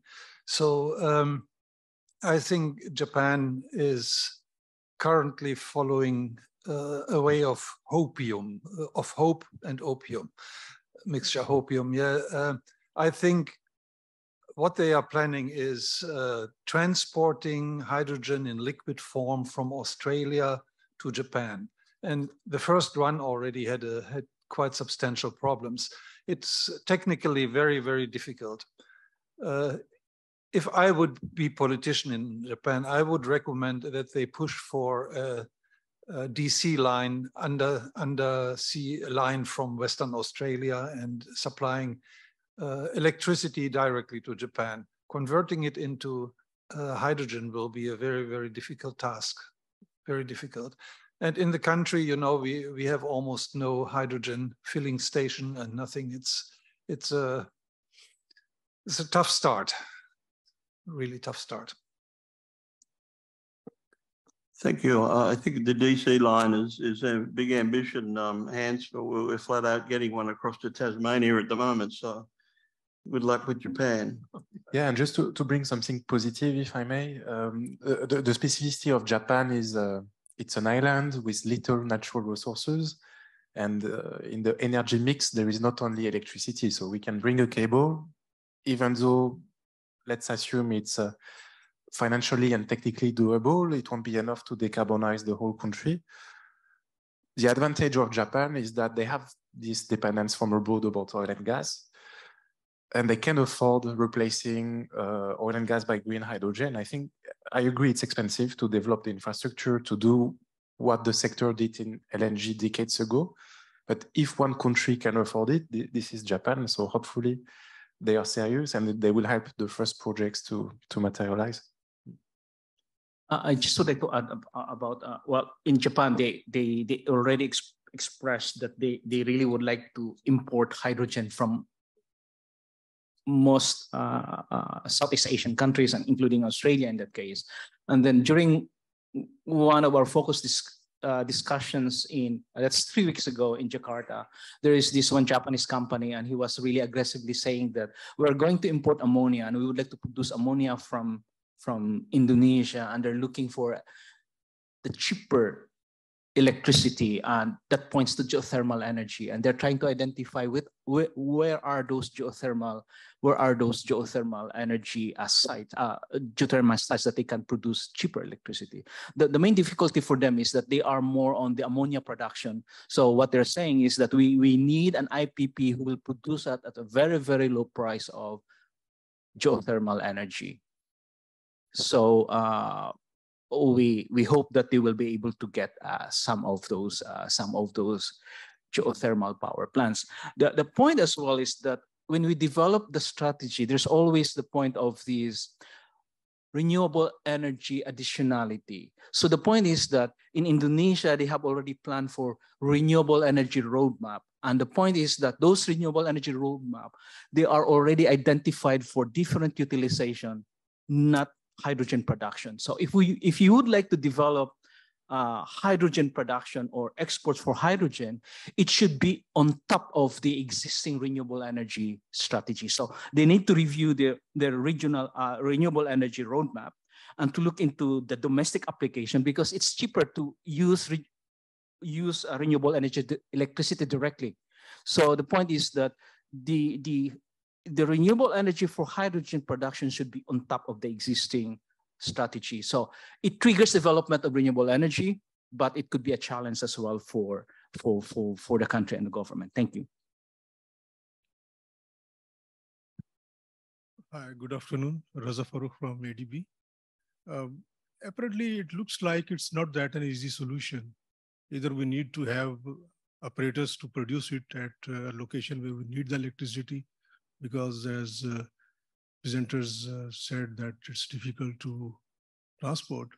So my question is, uh, how do we compare it with other renewables? For instance, uh, the solar is getting cheaper and cheaper day by day. So is there a comparison in terms of uh, per megawatt generation uh, of hydrogen and other? Why would why should we prioritize it or recommend it to a government that they should go towards hydrogen if there is no economic uh, benefit or it is if it is difficult to produce it or transport it? Yeah, I, I can take that. So I think that's a great question. And I think it's about um, which fuel, what are, what are you using hydrogen for? And uh, the first use of hydrogen is unlikely to be large scale electricity generation. So perhaps comparing the cost of electricity produced from hydrogen versus electricity produced from renewable like solar or wind is may not be the right comparison right now. I think most of the countries are looking at hydrogen to replace the gray hydrogen to start with, and then the additional demand that might come from um, its use in ammonia and fertilizers. And here it's you can't use electricity because it's a feedstock. So you need hydrogen to desulfurize and you need hydrogen to make ammonia through a chemical process. So the comparison there is between hydrogen price and say natural gas or LNG price. And that's where the comparison starts to make sense if you're producing this hydrogen in a cost effective manner, say you're producing it from renewable energy, which costs say, you know, five cents or even lower in many geographies. In India, it's, you know, four cents maybe or even lower. So if your renewable electricity is at low cost and your efficiency of electrolyzers is good, you can produce green hydrogen at competitive prices, especially when oil prices are high. So I think you need to look at the use of hydrogen and then compare what is it replacing. Initial stages it will replace fossil fuels and therefore that's the price comparison. In later stages maybe 15 20 years down the line there might be technology which you know may may make it much more versatile to directly generate electricity. But at the moment i would say you know that's maybe not the right comparison. Thanks. Thank you steve. Yeah we've got two questions from garrick. Is garrick in the audience? Do you want to ask them? Or do you want to come up and ask them? Why don't you come up and ask them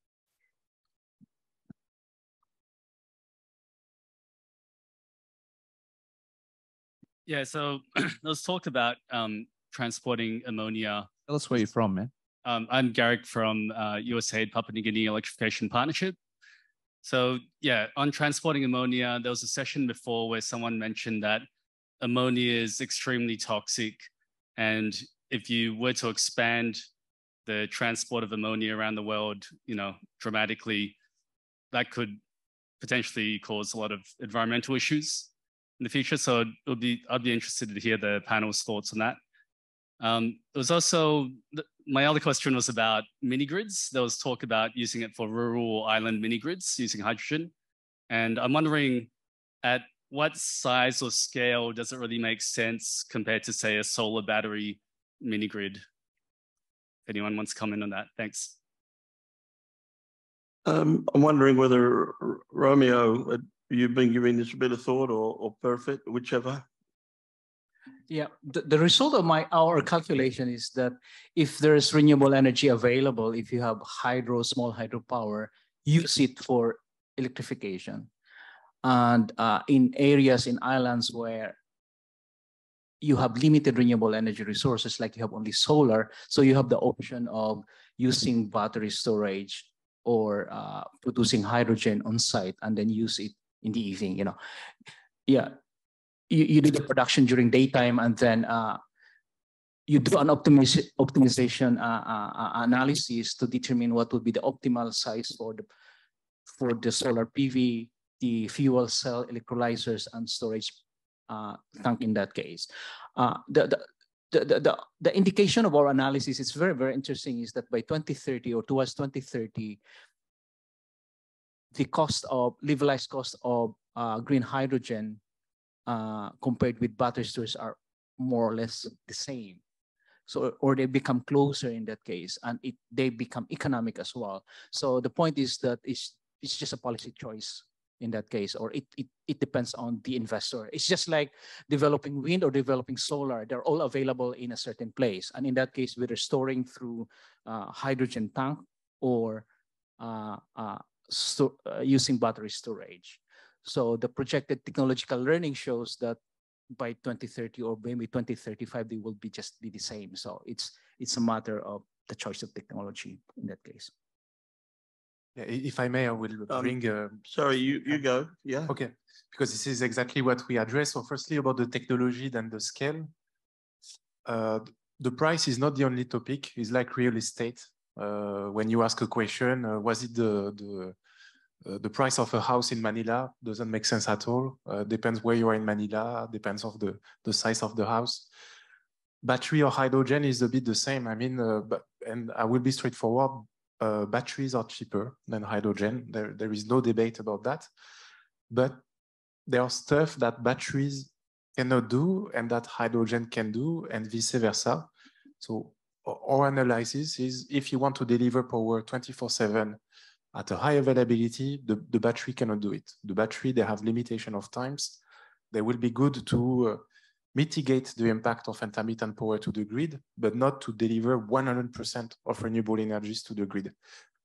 Uh, if you take the example of Germany, uh, Germany, they didn't switch off all nuclear power plants and coal power plants. They, they turn off the nuclear power plants, but they kept the coal power plants because you cannot integrate a lot of intermittent power to the grid. And then about the scale, there are the technical limitation, but also the limitation in terms of project finance scheme.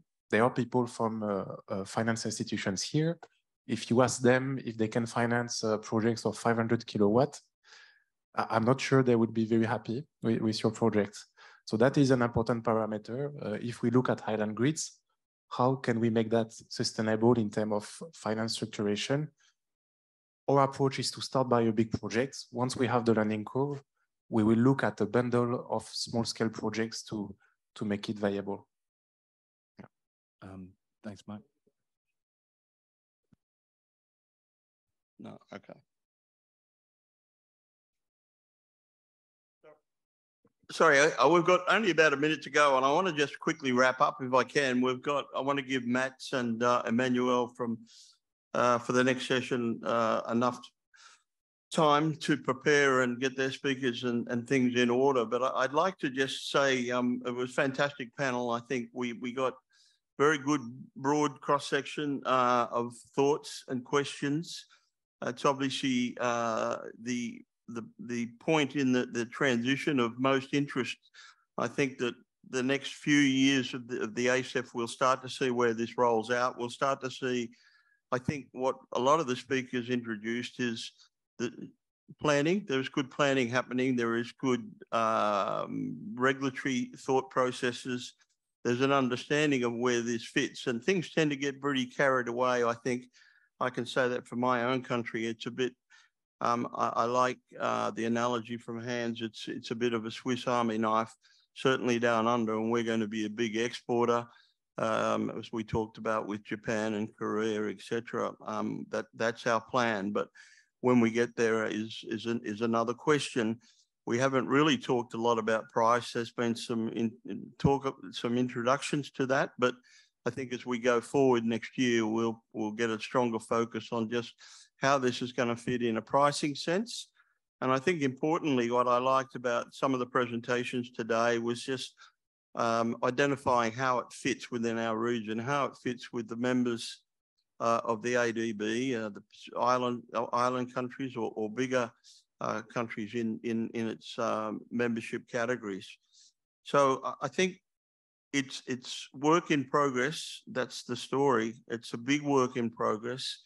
It's a big part of what our future is going to be. But today, I think hopefully we we gave a good introduction. I think gave a good um, summary of where the key issues and things sat. So I'd just like to put my hands together and thank again the, the speakers. They were, they were really good presentation.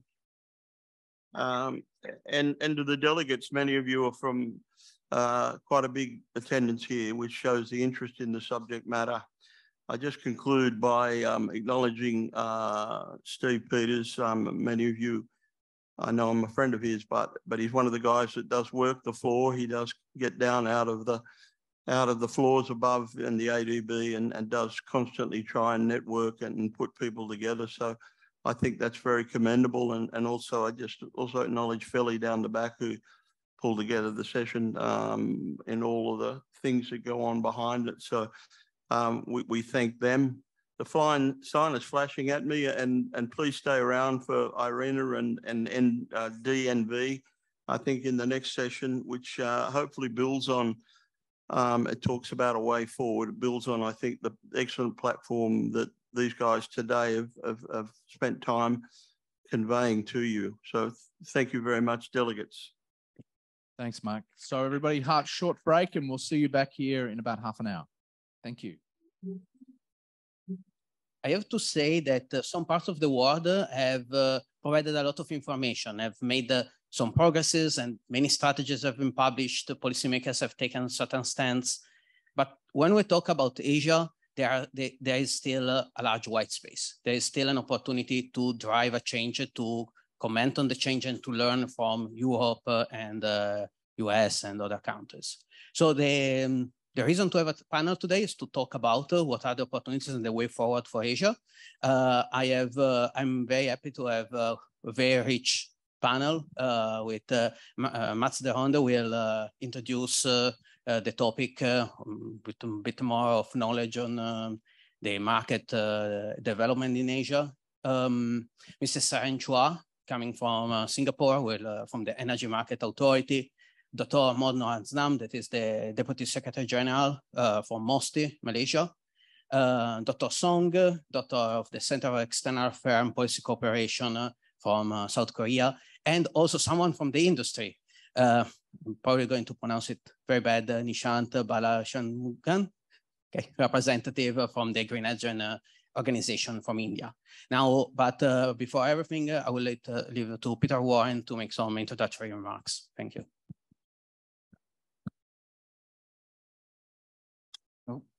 That's a good way to go up the steps, trip up right at the beginning. Um, well, thanks uh, to the ADB for in, inviting me to uh, present in uh, the hydrogen workshop. We're doing a lot of exciting things in this space, and I want to cover it from particularly the international climate finance perspective.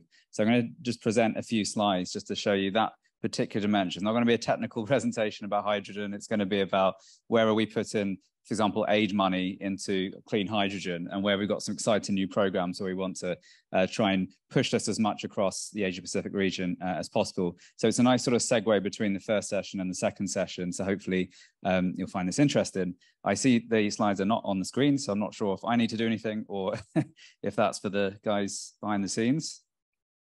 It's the guys behind the scenes, good. Um, I thought I'd just do one quick slide on what the UK is doing as well, in case that's of interest, uh, before we go into how we're working with other countries. Um, so we produced the hydrogen strategy. I know a number of countries have brought these out over the last few years. We published ours in, uh, in 2021. Um, we're also going to do sort of a, a, an update to that uh, in, the, in the coming years, but we've also produced last year an action plan. So trying to take that high level strategy uh, and put it into sort of practice. What are exactly the activities that we want to do? Um, but the overall ambition is up to 10 gigawatts of low carbon hydrogen uh, production by 2030. So that's where we want to try and get to.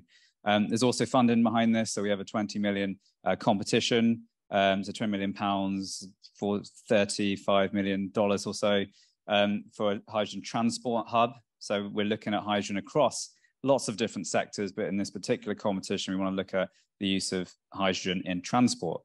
Um, we're doing a big focus on R&D, so research and development, demonstration. Uh, and when I talk about the international climate finance side, that also uh, applies uh, into, uh, into that space as well. Um, so to take the shift over to international climate finance, um, if anyone's interested in looking at this in more detail, um, the slides will be up on the ACEF uh, website um, at some point uh, when that gets gets uploaded. Um, but we have 11.6 billion of international climate finance. That's all official development assistance. That's all aid uh, aid spend across um, across the world for developing countries um, out to March 2026. That's when the current uh, sort of spending review periods uh, end. And as part of that 11.6 billion, we have some ring fences. So one of the ring fences is going to talk about that's most relevant to hydrogen uh, is our what we call our Ayrton Fund commitment, which is one billion pounds for clean energy innovation uh, in developing countries. But we also have ring fences on uh, on nature uh, and adaptation finance. And we're trying to link a lot of this climate finance as well into some of these big initiatives that we're seeing in, in hydrogen as well. So you may have followed the breakthrough agenda that was launched at COP26 and there's various uh, breakthroughs under that. Um, the most recent one that's going to come out this year is the Buildings mission, but the hydrogen one was one of the first that was out there. Um, but then there's also those that are linked to it. So the, the industry ones like uh, steel and cement, also there's an important role for hydrogen within those. So there's a so there's an interrelation between the different breakthrough um, uh, as well. Mission innovation has been going since I think it's 2015, if I can remember correctly, and someone can correct me if uh, if I'm wrong on that. And the second phase of mission innovation is currently uh, taking place. Uh, and then the second phase has a clean hydrogen mission. So we're looking at how, how we can use uh, that as well. In terms of this commitment that I mentioned, there's one billion pounds uh, clean energy innovation commitment. Um, so this is, uh, as I said, out to sort of March 2026, and we're developing the programs at the moment. Um, some of them uh, are delivered through multilaterals like the Asian Development Bank. So we have a, a, very big active portfolio with the ADB. We also have a big active portfolio with the World Bank as well. Um, so the World Bank, for example, has got uh, developed a new green hydrogen window as part of its energy sector management assistance program. Um, we're a big donor to the industrial development, uh, sorry, industrial decarbonisation uh, window as well, which has had quite a few projects on hydrogen. And I'm going to give one case study at the end of my presentation uh, to show how we go from this high level commitment down to the um, specific project uh, on the ground as well. Um, the key things I think with this, this commitment is we're trying to look at how do you accelerate a lot of clean tech? So how do you accelerate the commercialization of new technologies? So in this case, what are the new innovations in hydrogen for clean hydrogen across different sectors, transport, industry, power sector, the whole range that this will focus on. Uh, so one slide to try and cover the whole commitment. Um, there's a series of uh, programs in the green boxes that you see there. Some of them are operational now and available uh, for projects to, to fund projects. Others are being set up. So one of the new ones and exciting ones we're looking at is how you can use uh, climate pull financing. So I haven't seen really many examples of, of this in, in hydrogen. If anyone has had experience with this, uh, it'd be great to chat afterwards. So this is the role of things like advanced market commitments for clean hydrogen, results-based financing approaches, which are quite common in, say, nature um, and biodiversity financing in carbon markets, or green public procurement, which we've seen more in energy efficiency and, and things like that, patent buyouts, all these types of pull mechanisms. So if anyone's done some uh, in that space, it'd be really great to, to chat. So talking about the, the bigger scale, not the small scale prizes, the you know the hundreds of millions of dollars per project type of uh, scale is what uh, we want to look at. Um, to give you a few examples, and I think it's gone just off the bottom of the slide there, so I'm not sure what's happened there. Um, but you can see at least the first three programs um, that are just some examples of where we've been supporting uh, hydrogen or where we supported hydrogen through themes like industrial decarbonisation. Uh, so the first one up there includes um, almost a 20 million pound program on industrial decarbonisation through the World Bank, and I'll show some hydrogen projects within that. Um, we have a new uh, program that I've got a slide on, which I'm quite excited about, which is our first sort of dedicated climate finance uh, program and pillar on clean hydrogen. Um, it's also got uh, work on critical minerals as well, which is a, another big topic that we're focusing on. And then we've done some more smaller scale sort of research and development, capacity building through the Climate Compatible Growth Program. Each of these programs has uh, an annual review and a, and a website, um, so can put you in touch with uh, the relevant leads if you're interested to know more about uh, these programs. Um, so just to take a case study, so I've gone from the high level and now going to the mid level to take one of these programs. Um, and I want to just go through very briefly uh, some of the work that they've done. So for example, in this clean energy innovation facility, um, it's about 87 projects so far over the last few years. Um, obviously, there was a bit of a slowdown with COVID, but actually, um, we did see quite a lot of resilience um, in a lot of our uh, programs on, especially on the heavy industry side, that actually did continue um, over the last few years, um, which is good to see. We've also got other themes like AI and digitalization. So if anyone came to the digitalization um, presentation a few uh, days ago, um, spoke a bit more about that one. Uh, the sustainable cooling and energy storage um, as well. So to give you one very specific project that we've done very recently, and that actually will come out in August, uh, the final report. So we do a range of types of projects. So with this innovation funding, most of it will go towards pilots. So we actually want to see the pilots um, on the ground, but we also will do analytical work. So it's very country dependent in terms of what the needs are. You know, in some countries it might be there's a really specific analytical need that's needed, or capacity building for innovators working on hydrogen in that country, for example. Um, in this case, it was it was more of a regional study um, that looked at eight countries, including India and Pakistan, um, for how to um, try to look at the investment opportunities for clean hydrogen uh, as well. Now, this is just one of, um, I think in that, that fund, we've done about 22 projects, I think, um, that have looked at this. So if anyone's interested in other types of projects like the pilots, um, obviously for things like industry, they are huge sites. So this has taken a small part of that. Might be one bit of tech on a broader, uh, say, steel plant. In this case, it was a, an analytical study. So about $2 million, that's probably the average size of the projects that we support um, in the region. And I think this might be my last slide. So Steve, you might get some time back. you might get a whole minute and a half back. Um, so my final slide is on what I am very excited about this program, the Accelerate to Demonstrate um, program. It's a very new one. We've got our first dedicated AIDS um, pillar on, on hydrogen. So as I said before, a lot of our work was through other programs, through other themes, but here we're dedicated to clean hydrogen. And we have another pillar on critical minerals and a cross-cutting pillar. Um, it's delivered through the UN's Industrial Development Organization. They're really sort of building a big um, hydrogen part of their organization and working closely with the World Bank's uh, Green Hydrogen Window and also some of the, the earlier work that the ADB's uh, doing as well in this space. Um, so this was announced at COP27, but only really launched last month. Um, it probably won't be ready to support projects till early 2024 because it's all in the setup phase, but if anyone's obviously interested in this, then yeah, feel free to to talk to me and my team, and we can uh, put you in the right uh, place. I think that might be the last slide. So hopefully that that was uh, interesting and sets the scene between the two sessions. And a minute and 15 seconds back for you.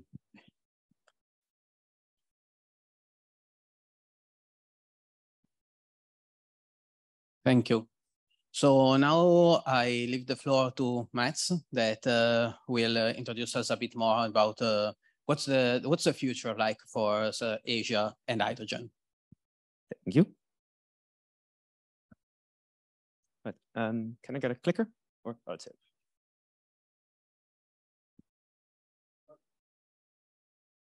Wrong presentation. Right.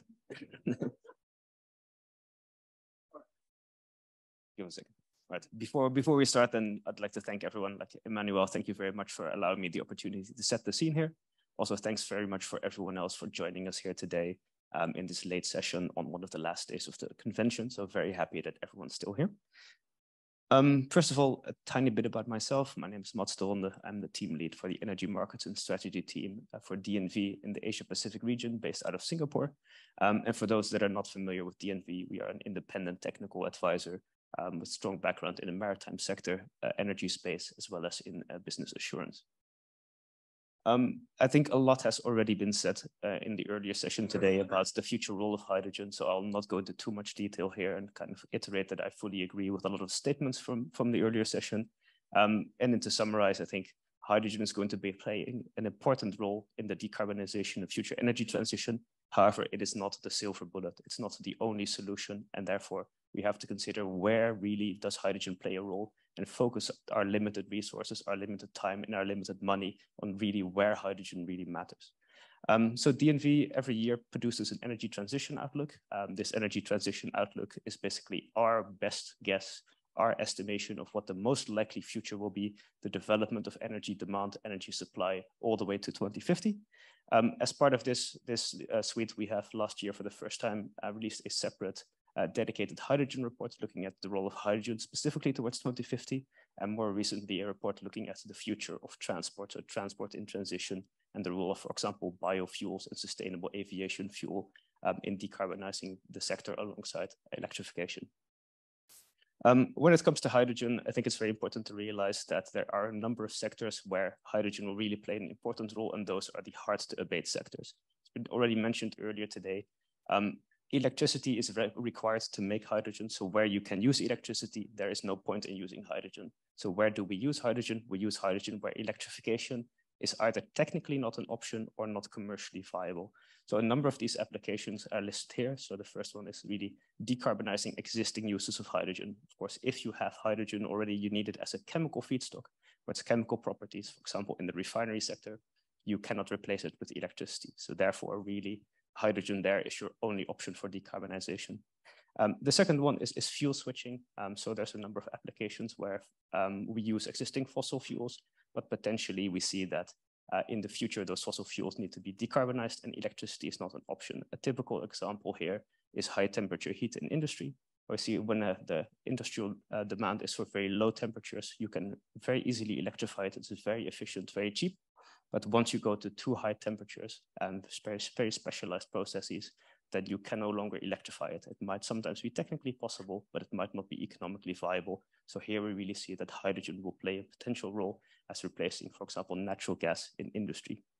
Um, the last one is a very important one as well. It's really the new uses of hydrogen, where we see that there's an existing fuel being used um, that is not uh, does not match with our long-term visions of full decarbonization, and where really we need to have new fuels and new infrastructure. Um, examples of these are especially the maritime sector, where you might have, uh, for short-term, short distances, you might use electricity.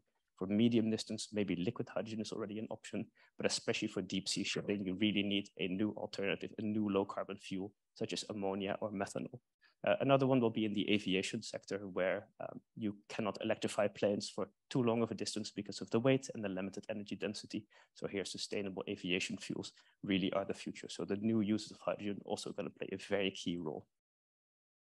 Um, when it comes to our forecast of the energy use, we see that um, the energy uh, the, the, energy demand for hydrogen is going to um, increase slowly over the next 10 years.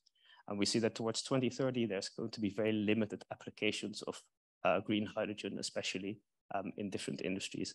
Uh, the reason for this is simply the fact that hydrogen is very expensive right now and it's not abundantly available. Large scale projects have not really been developed and won't really come online until the end of the decade.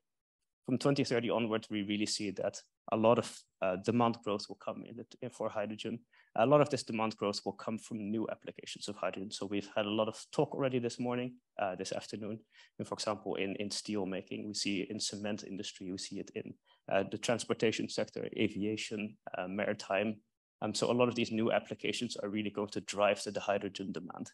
Um, what we especially see is that by 2040, um, the relative share of energy uses of hydrogen becomes bigger than the, um, the, the, regular uses of hydrogen. So hydrogen can either be used as a feedstock, for example, in making ammonia, in making uh, um, in, in, in, the refinery sector, uh, but from 2040 onward, really the fuel uses, so hydrogen for use in maritime sector, in use of industry and power generation are going to overtake the use of hydrogen as a feedstock. Um, towards 2050, we see that this demand growth will continue to increase um, and hydrogen will top out about 5% of the, the total energy demand by 2050. Um, while this sounds like a lot, this is actually not enough right now to make our climate targets. So we believe that in order to be able to make our 1.5 degree targets, we actually need about 15% hydrogen in our energy mix by 2050. That means that we really need to start accelerating and there's a lot more we still have to do. Um, Asia will be among the key regions leading the charge in terms of hydrogen production development, um, especially from China and from, from India. Um, what we really see here is that in 2030, most of the hydrogen produced will still be from fossil fuels, while after 2040, 2050, a lot more will shift towards greener forms of hydrogen, uh, with uh, greener hydrogen making up about 85% uh, of the total uh, production in uh, 2050. Um, what you can also see is that Southeast Asia, which is at the bottom of the line here, um, is kind of lagging behind, both in terms of the total amount of hydrogen produced by, by 2050, uh, but also the share of renewables, where it will still depend more than 50% on fossil fuel origin hydrogen by 2050. Um, one of the reasons for this is the lack of policy support. So policy is a very important driver, as we've heard in other sessions before, in getting this hydrogen and getting this hydrogen transition off the ground and Southeast Asia still was lagging a bit behind in some of the other regions here. Um, luckily, there's a lot of positive news. There's also a lot of energy and a lot of attention being paid, put into hydrogen in the Southeast Asia region in the last few years. Um, this started to culminate in much more, for example, strategies being developed um, on a national scale. Um, one example of this is the strategy we did together with GIZ for, for Thailand, where we developed a roadmap looking at exactly the role of hydrogen um, within that country decarbonizing um, by 2050. Um, we followed a very similar approach to some of the other, uh, other approaches that have been discussed this morning, really looking at where does hydrogen make a difference. Um, here we really differentiate between where do we see that hydrogen is your only road to decarbonization, which means it's a guaranteed demand for hydrogen. Where do we see that hydrogen is in competition with other resources? Um, in this analysis, we already took out all of the competition with electrification. So the competition here you're focusing on is especially biomass, biofuel, and biogas. Uh, and where do we see that hydrogen should really not play any major role? Um, what can be noted here is that for power generation and transport, the picture is relatively clear. Um, you, for power generation, you want to maximize the use of renewables as much as possible, but you will also uh, want to have interconnectors as much as possible, but you will run into a limit where at some point you will need to have some form of dispatchable, flexible power generation, which you can only decarbonize with a low carbon fuel, which in the future will likely be hydrogen or ammonia. Um, in transport, we see that in road transport, typically you want to electrify everything that you can. The only potential application you have for hydrogen um, is for really long distance trucking, where very heavy, very longer distances, where batteries might be less suitable. But even there, we see the market generally moving towards electrification uh, rather than using hydrogen. Uh, maritime and aviation sector, as just discussed, there is no real alternative for hydrogen. Um, when it comes to industry, um, low temperature heat, as we discussed previously, should be electrified. High temperature, there's a lot of competition. It's very interesting, and you really have to look at individual subsectors to see what the best alternative is. The general consensus here is that if you have an installation, for example, that currently uses coal, you don't want to reinvest and make a hydrogen burner. You want to continue to use your existing infrastructure you would like to use, for example, biomass, which doesn't require much uh, adjustment. Uh, the same would go for oil, where a transition towards biofuel is quite natural. Um, however, biomass, biofuel, and biogas, they have some limitations, which actually comes in terms of the scale. So they are very useful for small scale applications, especially decentralized. Uh, but for large scale applications, it becomes a lot more difficult to use these installations. Uh, and therefore, at that point, it becomes much more logical to switch towards hydrogen. So you really also have to consider like the local availability of resources and how that would affect the options every country has to decarbonize each of its sectors and really target where hydrogen plays a key role. Um, of course, as mentioned before, the economics are incredibly important um, and really compared that on a fuel by fuel basis across these different sectors. Um, and can be noted with no policy support, uh, cost parity with oil is relatively easy to reach um, already quite soon, but especially when it comes to deep replacing natural gas and especially coal, it becomes a lot more difficult. Um, you can of course do this via subsidies or you can do this via taxation, um, but because governments like earning money and not spending money, we focus on taxation in this case. Uh, but it's very clear that you really need a relatively high carbon price to reach that cost parity with natural gas and with coal even by 2050. Um, if you combine all of this, so you say, okay, we now know pretty much how much hydrogen can be used across all of these different sectors, as well as what uh, is expected in terms of the cost parity, you can kind of start to understand when will hydrogen really start playing a role in a country such as Thailand. Um, what can be noted here is, is on one hand, uh, the fact that the transport sector currently has a massive market potential, but the idea is that, of course, a lot of this will be electrified over time.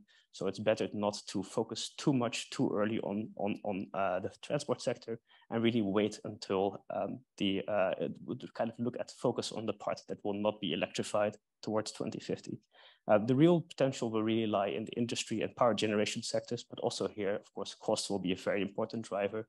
Uh, so policies will be necessary to support this to make sure that we can actually introduce hydrogen by 2050 and ensure that we make this energy transition possible.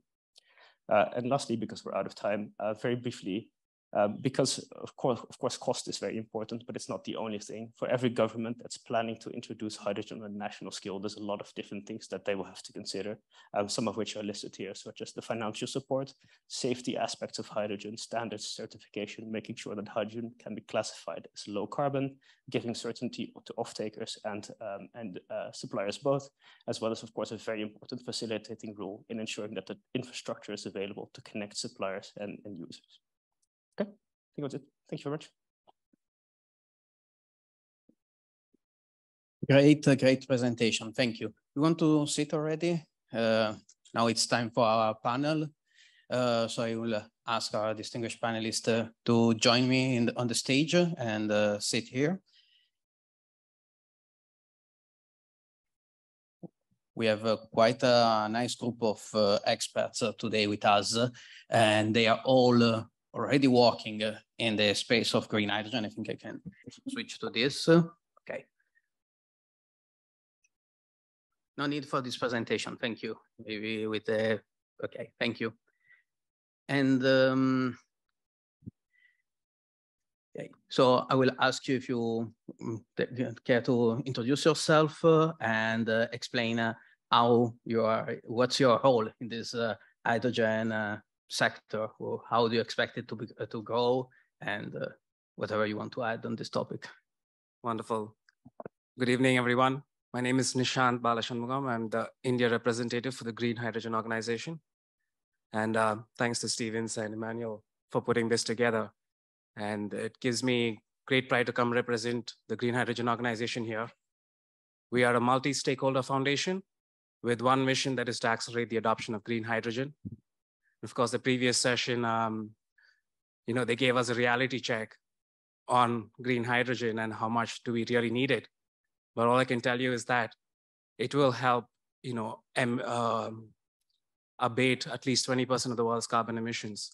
So there is a necessity for it, and it is it is the only solution for us to reach the 1.5 degree pathway that we set forth. So as the Green Hydrogen Organization, we work with industry, civil society, the DFIs, and also academia.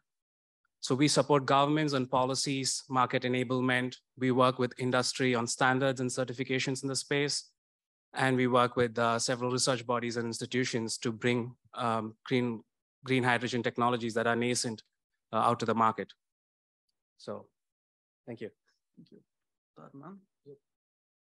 Uh, Thank you, Manuel, and of course, Stephen, for organizing this again. Um, I'm um, the, currently, the, as, as the designation states here, work with the Ministry of Science and Innovation, um, where we looking we are looking at uh, future technologies, advanced technologies to uh, to help the country prepare ourselves to becoming a national uh, a nation that uh, that uh, driven by high technology uh, to spearhead our socio-economic development. And uh, one of the focus areas is, of course, on energy consumption and other industrial applications of, uh, of science and innovation. Uh, and in regards to hydrogen um, specific sector that we're looking at, uh, we, um, the ministry developed several roadmaps, including this hydrogen roadmap, that we are going to be able to hopefully launch by the end of the month as well. I mean, just now Singapore, I mean, Indonesia uh, may be also doing that the same. We've, we've, uh, worked, we've worked on this uh, hydrogen roadmap for the past two years, actually, and we've finalized it. Um, and essentially, it will hopefully bring um, some um, potential for partnerships, uh, including for trade international. Uh, of course, we are looking at decarbonization, supporting our decarbonization efforts by 2050, where the country has this target of uh, net zero by 2050.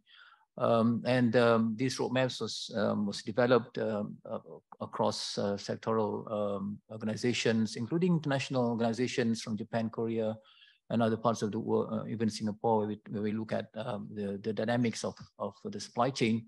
And we hope to be able to bring this to to as early as 2030 to 2050. Well, I'll have some some some more uh, to describe after this. But in essence, uh, what the ministry is doing is de developing uh, Uh, and charting future uh, true north uh, roadmaps that will be focusing on several sector vertical technologies that that are having you know, what do you call that um, um, the strength and um, and, and and and the ability to do the changes. Thank you.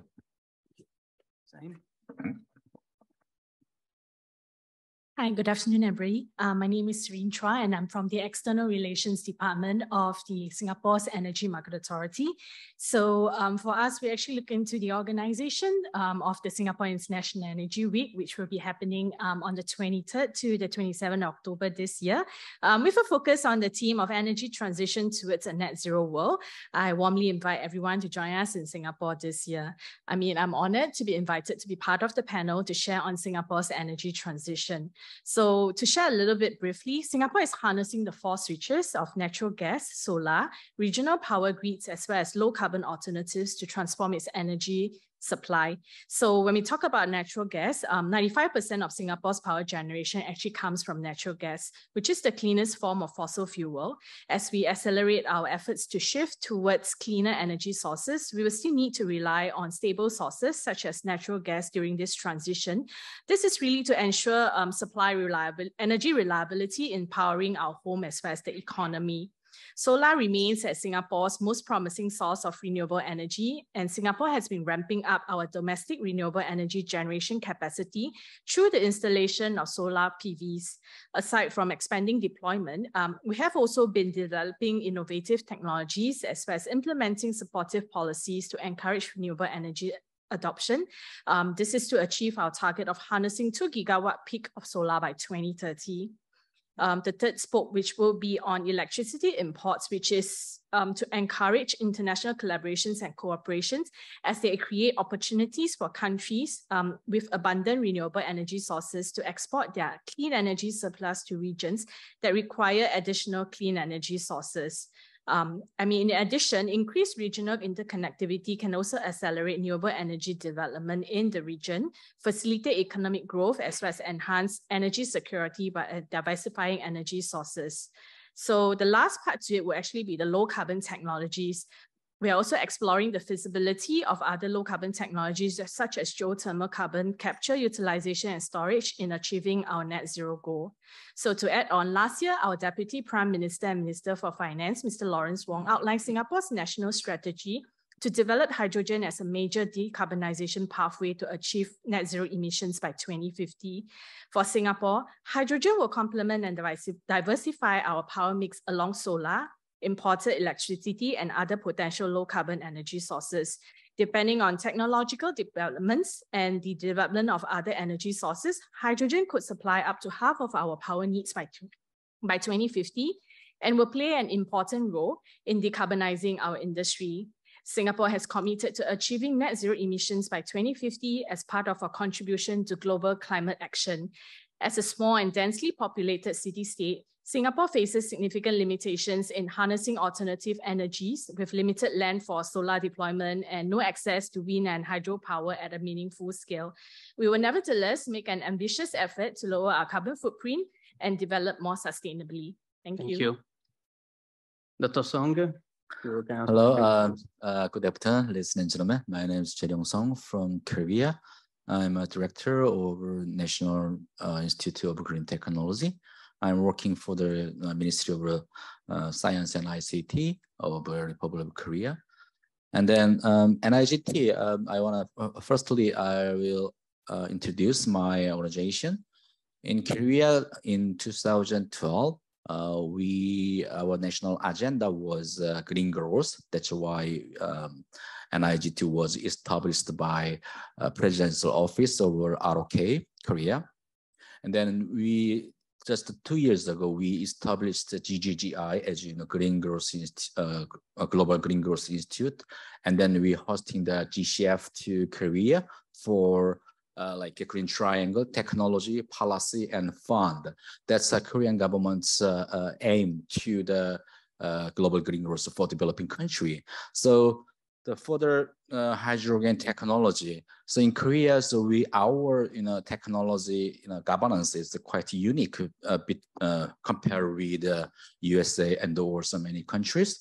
Um, we are 30 percent, 33 percent for uh, university R&D, and then 33 percent for industry, and also the other you know 33 uh, percent for public R&D it means uh, the leading of the uh, uh, hydrogen technology also. So we divide three you know, uh, uh, uh, um, parts or areas for university, industry, public R&D. So you know, NIGT is um, you know a policy you know institute of green technology it means it's a very important thing is the R&D policy and national framework, a framework for hydrogen. So even those, you know, they are the very important things, the, trade of the hydrogen technology or hydrogen market. But before it, so we should think about the hydrogen technology in a, a, a development for developing country or so. There's only think about the, the its uh, market. So uh, first of all, so we need, uh, you know, uh, uh, think of the room for like uh, development of developing country of the uh, hydrogen technology in R&D. So Korean governments, you know, so we, um, is highlighting the hydrogen economy to achieve carbon neutrality by 2050. Also, we made two acts. First one is uh, uh, Climate Technology Act uh, by Ministry of Science and ICT. Secondly, uh, Hydrogen Act by Ministry of Industry. There's a two uh, key player for hydrogen technology. And one of them is the Science Ministry, uh, uh, IST. Also, the other hand is Ministry of Industry. It means in Korea, uh, R&D is a, most important thing for uh, close to the business uh, sector. That's why you know the the is there some you know supervising you know entity for under the uh, president office of uh, Korea. It means uh, the driving of R&D is very important because why, as you know, in a, um, hydrogen uh, pipeline in Europe, they they can uh, connect, but in Korea is, is like an island because of North Korea. So we don't have making in a uh, pipeline. That's why we use the port. And then so yeah, so uh, I'm gonna say later, so for the international cooperation for hydrogen Again technology. Thank you. Thank you so much. So, uh, as I mentioned before, um, the hydrogen policies, the hydrogen strategies uh, in Southeast Asia in particular are, pretty late to come. There are, we still have a lot of questions. So let me ask you, Dr. Aslam, the first question. We just heard that uh, the uh, hydrogen, green hydrogen, blue hydrogen strategy of Malaysia will be published soon.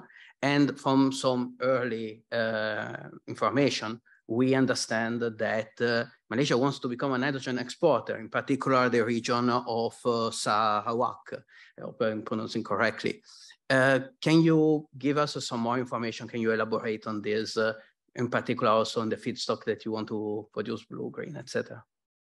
Yeah, okay. See, the um, the approach of this so soon to be uh, announced and published um, hydrogen technology and economy roadmap um, is to mainly focus on uh, domestic some um, demand as we move forward towards uh, decarbonization as well as net zero achievements. Um, so we're focusing on, of course, the main sectors: power, transportation, industry, and uh, and other uh, potential users. But those are the main ones. Uh, but when we talk about transitioning, um, it's, it's, it cannot be just focusing directly immediately on green hydrogen. We have to have still get this uh, transition right. And based on our economic analysis uh, we, uh, for the next 30 years, it's going to be short-term 2030, 2040, 2050 kind of time horizon. We're looking at um, um, introducing, uh, of course, doing whatever we, we're doing right now already. So producing uh, slightly less of around one um, MTPA million million tons of per annum of hydrogen right now, but mainly gray hydrogen. Um, so the, the region that you're saying um, green hydrogen um, that that uh, that has already started doing right in, since 2019, if I'm mistaken, which is in Sarawak, as part of uh, east of Malaysia. Um, that uh, the, the main uh, source of energy is hydro. So they, they have that potential. And as such, uh, the demonstration plant that is now producing uh, rough, roughly around 130 kilograms per day uh, is already in, in, in action in demonstration stage. there are several, um, what you call that, vehicles, buses, uh, a few cars that are already uh, operating on it. Of course, the popular Toyota, I mean Toyota and the popular Hyundai. And I'm not going to say the brand name, the model of the car, but it's already there. Um, so when you talk about when we, we look at the the, the dynamic dynamics of uh, of supply and also the raw materials that we have, of course we have solar, but we cannot. I mean, there's, there's challenges in land and, and, and, and such. We also have biomass, uh, biogas from from our palm oil mill effluent, for example, that can potentially be, of course, hydropower and um, uh, for, for potential use of hydrogen, uh, gray, gray hydrogen production. Um, so being an exporter is not something that we strive for um, because anyway, in ammonia, uh, the ammonia that, that Petronas, the, uh, the petroleum company, uh, national company, is already uh, exporting to, to, to Japan and, and, and the likes. Um, we are, that's that kind of exports are mainly um, as of now already started, but in, in uh, the, the, the roadmap that we have developed, the techno-economic analysis shows that by 2050, uh, if we, there's two scenarios essentially. We are not going to be, if there is this business as usual scenario and there's emission driven scenario. Uh, by 2050, the business as usual shows that uh, about 7 million tons of per, per annum can be produced if we do not use any interventions like uh, technological interventions, even taxes and whatnot. But if you introduce a more aggressive one, then we'll be able to produce until 2050 the kinds of around 16, 15 million tons per, per annum. Uh, but mainly uh, 50 over percent, 40 over percent, 40, 40, 40, 45, 55 kind of green versus blue. So it's not going to be mainly green, although we have the abundant solar and whatnot but that's how we're looking at it as we move transitioning from from uh, from the likes of and again it's not even even in, in transportation sector the roadmap that, that the strategy we're focusing on is as at most uh, between 15 20 percent of total industry volume. So it's not going to be um, I mean I think similar to but maybe better than Thailand the one that the NBO is showing this now. That, that shows Thailand is not going to be able to do it in, in, in mobility uh, but we, we may be able to to do a bit more as such. Thank you. Thank you. And uh, now a question for Dr. Song. Uh, um, I know that you are a very proponent for collaboration, international collaboration. In Korea wants to import hydrogen, so cooperation between your country and the countries in the region is important. So may I ask you, how do you, do you and Korea envision uh, international cooperation in the context of the hydrogen strategy? What are the benefits for their countries? Well, um, it's a complicated question for because as I mentioned before, it's Korea, you know, um, uh, hydrogen technology is quite beginning, but all countries beginning, but um, especially, you know, we just focus on, you know, in Korea is and you know, Japan and USA, uh, no, Germany.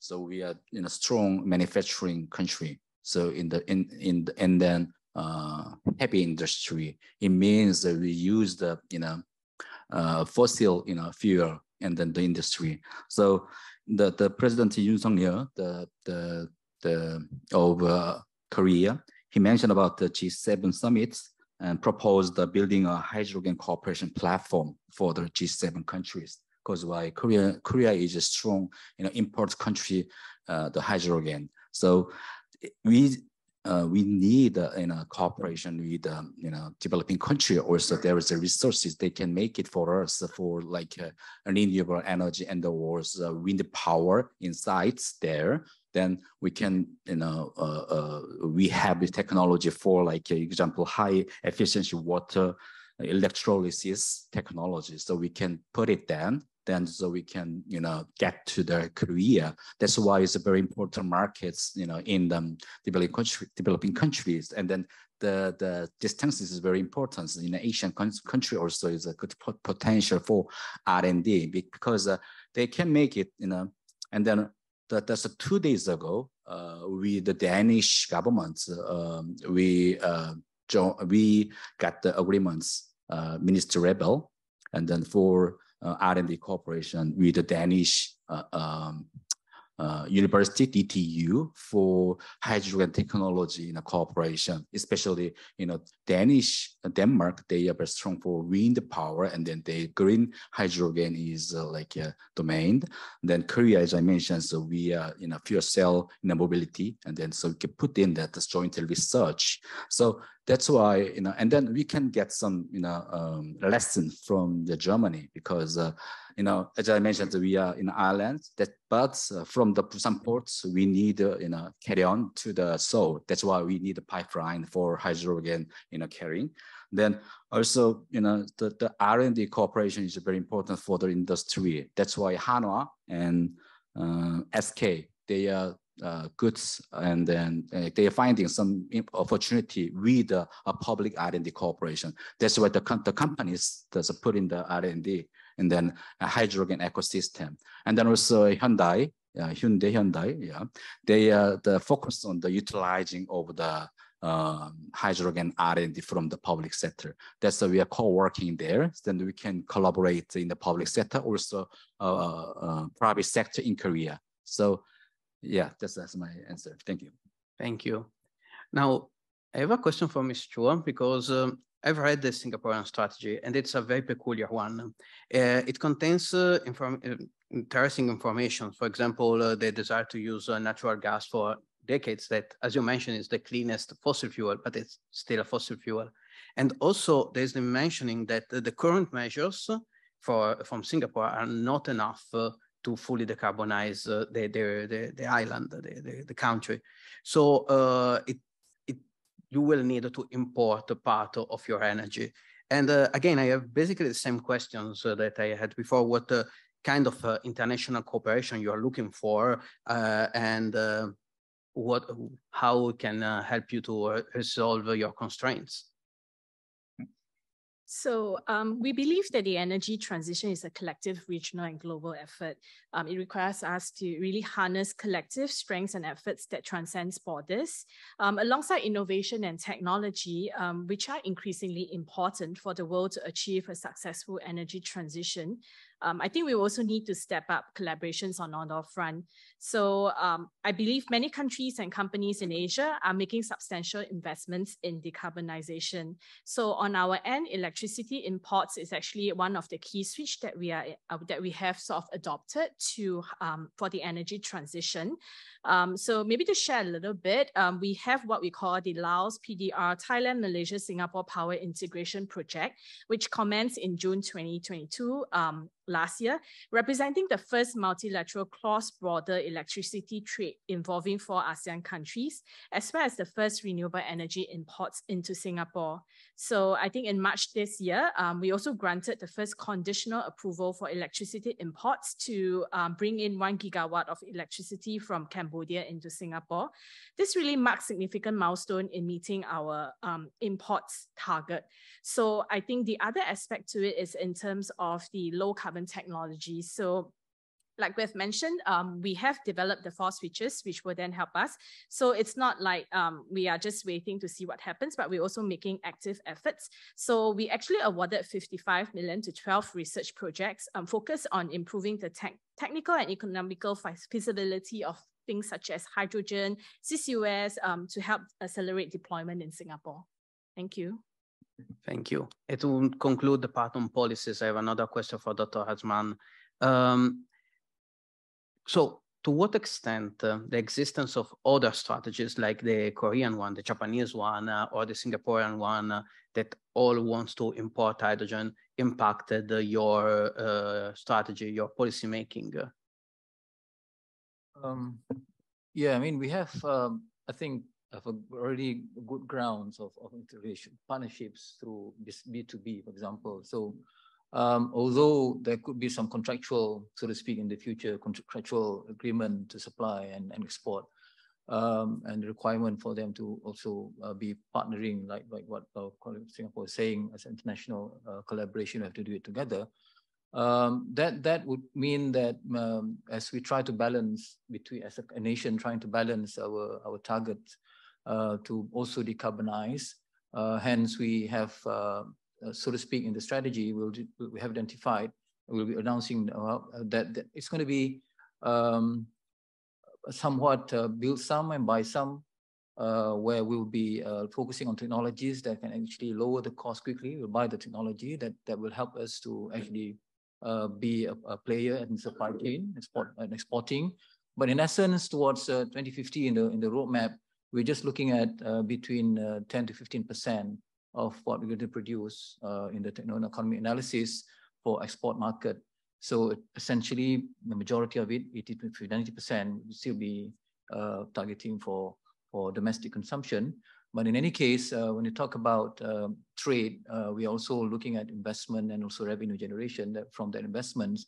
Um, the investment value can, could reach as high as um, uh, in, in trillion ringgit or, or 1.3 trillion, something like that, uh, for, for revenue of, of 20 billion uh, as early as 20, as early as 2030 of around 12.1 billion ringgit of revenue. But that that's that's um, that that is how we look at revenue generation from industry industry that we're going to be that are going to focus on on on, on technologies and also products to uh, fertilize the market and whatnot, uh, and also to support uh, our uh, trade partners. Uh, so in, in that balancing act, the roadmap will has already identified the the way that we'll be doing doing building some and buying some as we have although we have a lot of um, raw materials but there are also challenges in terms of extracting the raw materials let's take for example storage facility if you not if you export ammonia um, then you have to have uh, specialized vessels in it so that, that vessels will have to partner with so to speak, importing countries. We don't, I don't, I don't think, I'm not sure whether they're going to be able to just focus on specializing in vessel development or building new ones. Uh, but that is how we're going to uh, also approach uh, this uh, as we move forward into these new potentials. Thank you. Thank you. Thank you. Now to move to India. Uh, India has some interesting targets uh, to have uh, to become a superpower of green hydrogen, possibly without even uh, much of trading. But at the same time, they want to achieve 450 gigawatt of renewable energy capacity uh, by 2030. So I was I wanted to ask you, what's your opinion about uh, uh, what are the synergies between uh, green hydrogen and uh, other renewable energies and the renewable energy sources sorry, of the Indian context? and do you believe uh, that in the Indian context, rules like uh, the EU additionalities are needed? Thank you for that question, Emmanuel. I think India has this need to be for its own energy security, and it gives it the added advantage of improving its current fiscal account deficit.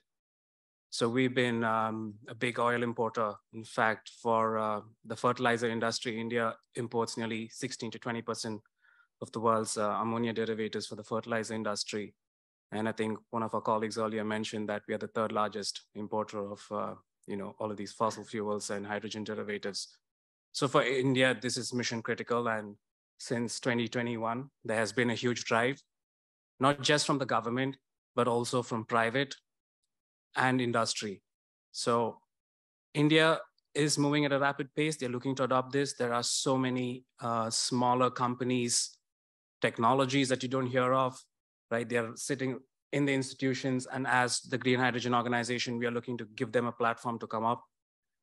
Going to your uh, question about India's 450 gigawatt of uh, RE installations by 2030, I don't want to be pessimistic, neither do I want to be, you know, too optimistic. I'll give you facts. I think in 2021 we installed, uh, 2022, sorry, we installed about 16 gigawatts of uh, renewable energy, and that brings us, you know, closer to 130 to 140 gigawatt of install capacity.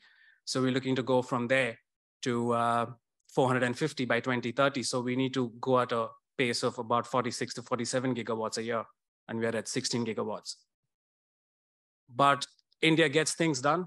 I know if you ask us to come at five o'clock, people show up at 5.30 because we have different reference points culturally as well. So 450 gigawatt was actually planning for 300 maybe. So you never know. Uh, this, this is how we like to joke about this because we are not fully equipped for this transition. Most of the state-owned power operators and distributors in India are bankrupt.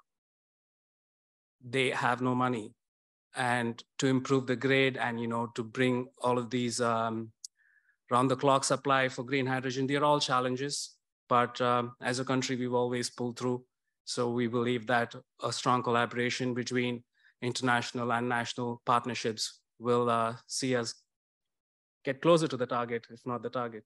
Yeah, thank you. I think that uh, the topic of collaboration, cooperation is coming uh, multiple times today.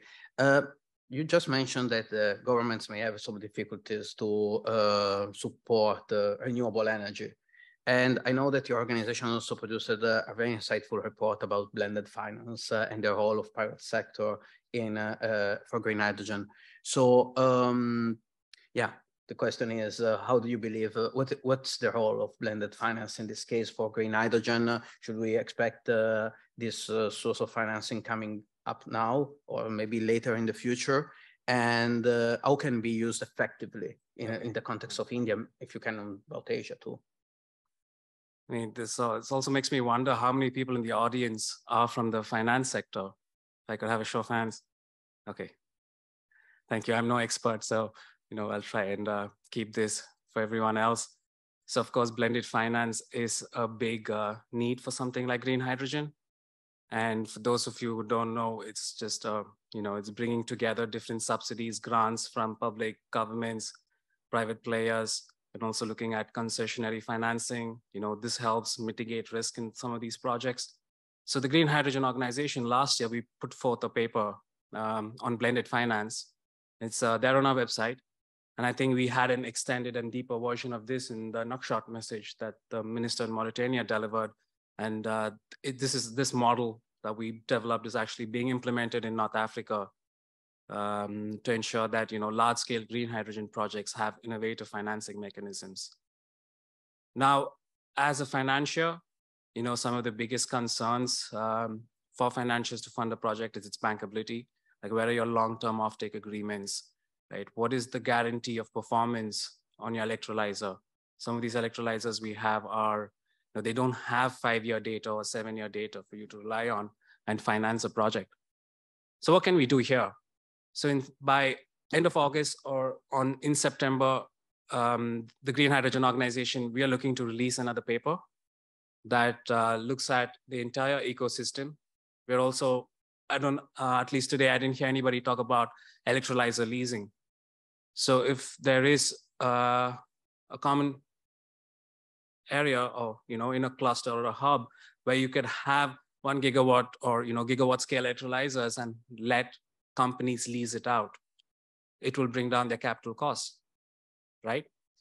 Now, further going down, if you look at uh, long-term agreements, so what we could do is we can have, we can facilitate long-term agreements um, collectively with you know, governments, DFIs, um, and some private capital where we can look at you know, contracts for difference and viability gap funding mechanisms to ensure that you know, there are long-term contracts that are available for uh, green hydrogen.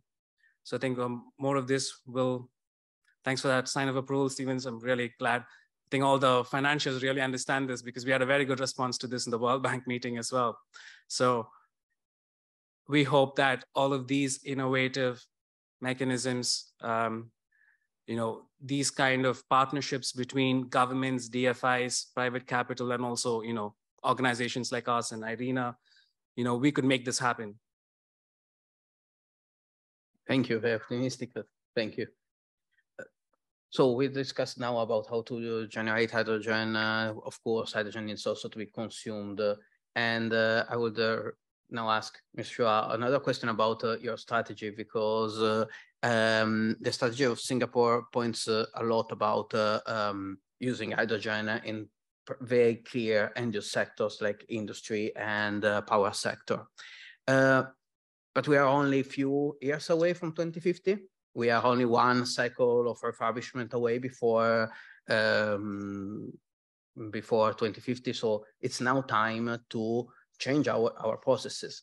Do you believe that Singapore is ready to make that step change in its industry? So um, we believe that global developments in hydrogen are really at an inflection point at this point. Um, there's increased investments from countries and, and, and companies globally to really develop new technologies and establish supply chains for low carbon hydrogen. So Singapore believes that low carbon hydrogen has the potential to be a major decarbonization pathway to support our transition towards net zero by 2050. And this is taking into consideration five key thrusts. So which will then look into experimenting with the use of advanced hydrogen technologies at the cusp of commercial readiness through Pathfinder projects. So we aim to diversify energy sources by incorporating hydrogen into our energy mix. So, I mean, we all know that hydrogen is a clean and sustainable um, alternative to traditional fuels. So Singapore has issued an expression of interest um, for a small scale commercial project to utilize carbon, low carbon ammonia for um, power generation. So the second part to it is really how we do long-term planning for land and infrastructure. So in order for hydrogen to be viable, it requires adequate transport um, import kind of infrastructure to be put in place. So developing the necessary infrastructure to support um, such activities um, to support the production, storage, and distribution of hydrogen is also important. So the third part to it is really looking into how we can um, redouble efforts in R&D to unlock key technology um, bottlenecks. So um, we are actively investing in research and development as well as to see how we can advance innovations in um, hydrogen technology. So we are looking into how we can collaborate with industry partners, you know, the academia, research institutes to really develop low cost, uh, to develop cost effective and efficient methods for hydrogen production, storage and utilization. Um, and I think Singapore is also looking at how we can explore hydrogen technologies and carrier pathways, um, which have the potential to be commercially viable, um, including ammonia, which is, I think, one of the um, agent that has been talked about quite a fair bit. Um, and I think international collaboration is also something that we would have to work very closely on um, because we do recognize the importance of, you know, how regionally or even globally, the, the international collaboration is in promoting the adoption of hydrogen as a global energy solution. So um, Singapore actively engages with international partners, and I think we also participate in hydrogen-related initiatives, um, just to really get into that opportunity to cross-share knowledge. Um, and I think the last part um, is also something very important, which is how do we ensure that we have the workforce ready to help us, you know, um, advance into the hydrogen technology. So it's really about supporting workforce training and the development of a broader economy. Um, so I think on this end, we look forward to working closely with the industry and international partners um, to see how we could realize um, low carbon hydrogen potential for Singapore as well as the world. Thank you. Thank you. And uh, again, uh, it came across the topic of cooperation, the strong need for cooperation. So, Dr. Song, I know that again that you have a very uh, strong opinion about the need to cooperate, in particular in the research sector. And hydrogen in general uh, is this sector where there are a lot of uh, announcements, boosted announcements about new technologies coming up online. But for the general public, maybe a bit difficult to recognize how mature is a technology Mm, but starting to share information, etc., may bring uh, a sort of, um, how to say, competition also between uh, research institutions and between the private sector that, of course, wants to be the first uh, in place, have some uh, uh, first mover advantage. So how do you see this cooperation working with the need of competition for uh, hydrogen? Well, um, for the competitioner in the R&D sector or business sector, we can divide. So for R&D sector, this, the the as you know the the world politics in situations like uh, decoupling and then energy security. So there is a block and like uh, in uh, USA and European countries, they are strong in a good relationship. And Korea, so we are like uh, between you know China and um, USA, cause so we are good, you know, before we are good relationship with the China market or Chinese market and Chinese uh, R&D you know, cooperation. But nowadays it's quite in a different uh, stage of the situation in politics uh, between Korea and China. But just two weeks ago, I attended um, some you know Chinese low carbon uh, carbon neutrality forum. So in um, some scholars said So we need uh, a collaboration each other cause why the for addressing uh, climate change, it's uh, you know uh, transboundary and trans-regional you know problem. Also, the hydrogen technology it's need it helps us for achievement of our climate change you know, and climate uh, crisis. That's why you know so you know it's very difficult for the like uh, you know you know uh, profitable you know um, uh, things for share sharing each other. But for like uh, utilizing. So for example, in German case, they uh, GIZ, they have some good, you know, uh, uh, uh, example for utilizing of ODA system. So it can make it something for helping or supporting them, something cited for renewable energy things, and then we can add it up and then like a PPP model, public-private, you know, a partnership in ODA sector in Philippines also. And so making some sites with the utilizing technology, then we can trade uh, and after the the sites you know up that. That's and then you know in korean case we have you know some resources you know human resources. So because as i mentioned before so we have public r&d governance and r&d system means you know many you know uh, a senior you know engineer uh, from the public sector they can contribute to further you know hydrogen technology transfer to developing country early stage so so you can you know find a good solution for the you know technology R&D also. Thank you. Thank you so much. So we pass now to the question from the from the audience. I see here two questions. One is for Matt from uh, Anas. If uh, you are here, if you want to ask him. Ah, okay. Hi, I'm Anas Rahman from International Institute for Sustainable Development. Uh, my question is to Mats. I saw in your slides that uh, the forecast, the sector-wise uh, demand forecast for 2050, the demand for refineries stays stagnant even until 2050. Um, does this fit well because the end product of refinery is definitely uh, petroleum products? Uh, does this fit well with the net zero targets which we are targeting? Mm. That's a, it's a very good question. Of course, the, the, the renewable like the targets that every different country has when it comes to decarbonization are are different. Um, so on one hand, we see that there's a lot of countries who are actively moving away from using fossil fuels, um, oil-based products, especially in, for example, the transport sector, moving towards electrification. But of course, we see that there's also still a lot of countries who are kind of in their own transition and gaining energy access, um, where the, the, the amount of energy demand and energy use um, is still increasing very rapidly. Even in the region here, countries like, like Vietnam are still rapidly developing in terms of how much energy demand there really is. Um, so on one hand, we definitely see that there's a move away from um, long-term from, from using oil products in the transport sector. But of course, that will not happen at the same pace in every individual country. Um, additionally, there's also, of course, a lot of things that oil is used for in terms of as a feedstock. So it's, of course, a very important um, component in making all sorts of plastics and such, um, and for which it's very difficult to move away from um, that feedstock use. Um, so we, we do believe that that over time, these kind of things even out a bit. So we see it on one hand, countries moving away from fossil fuels, on the other hand, demand overall still increasing. Um, so yeah, we think it's going to stay relatively flat going forward. Thank you.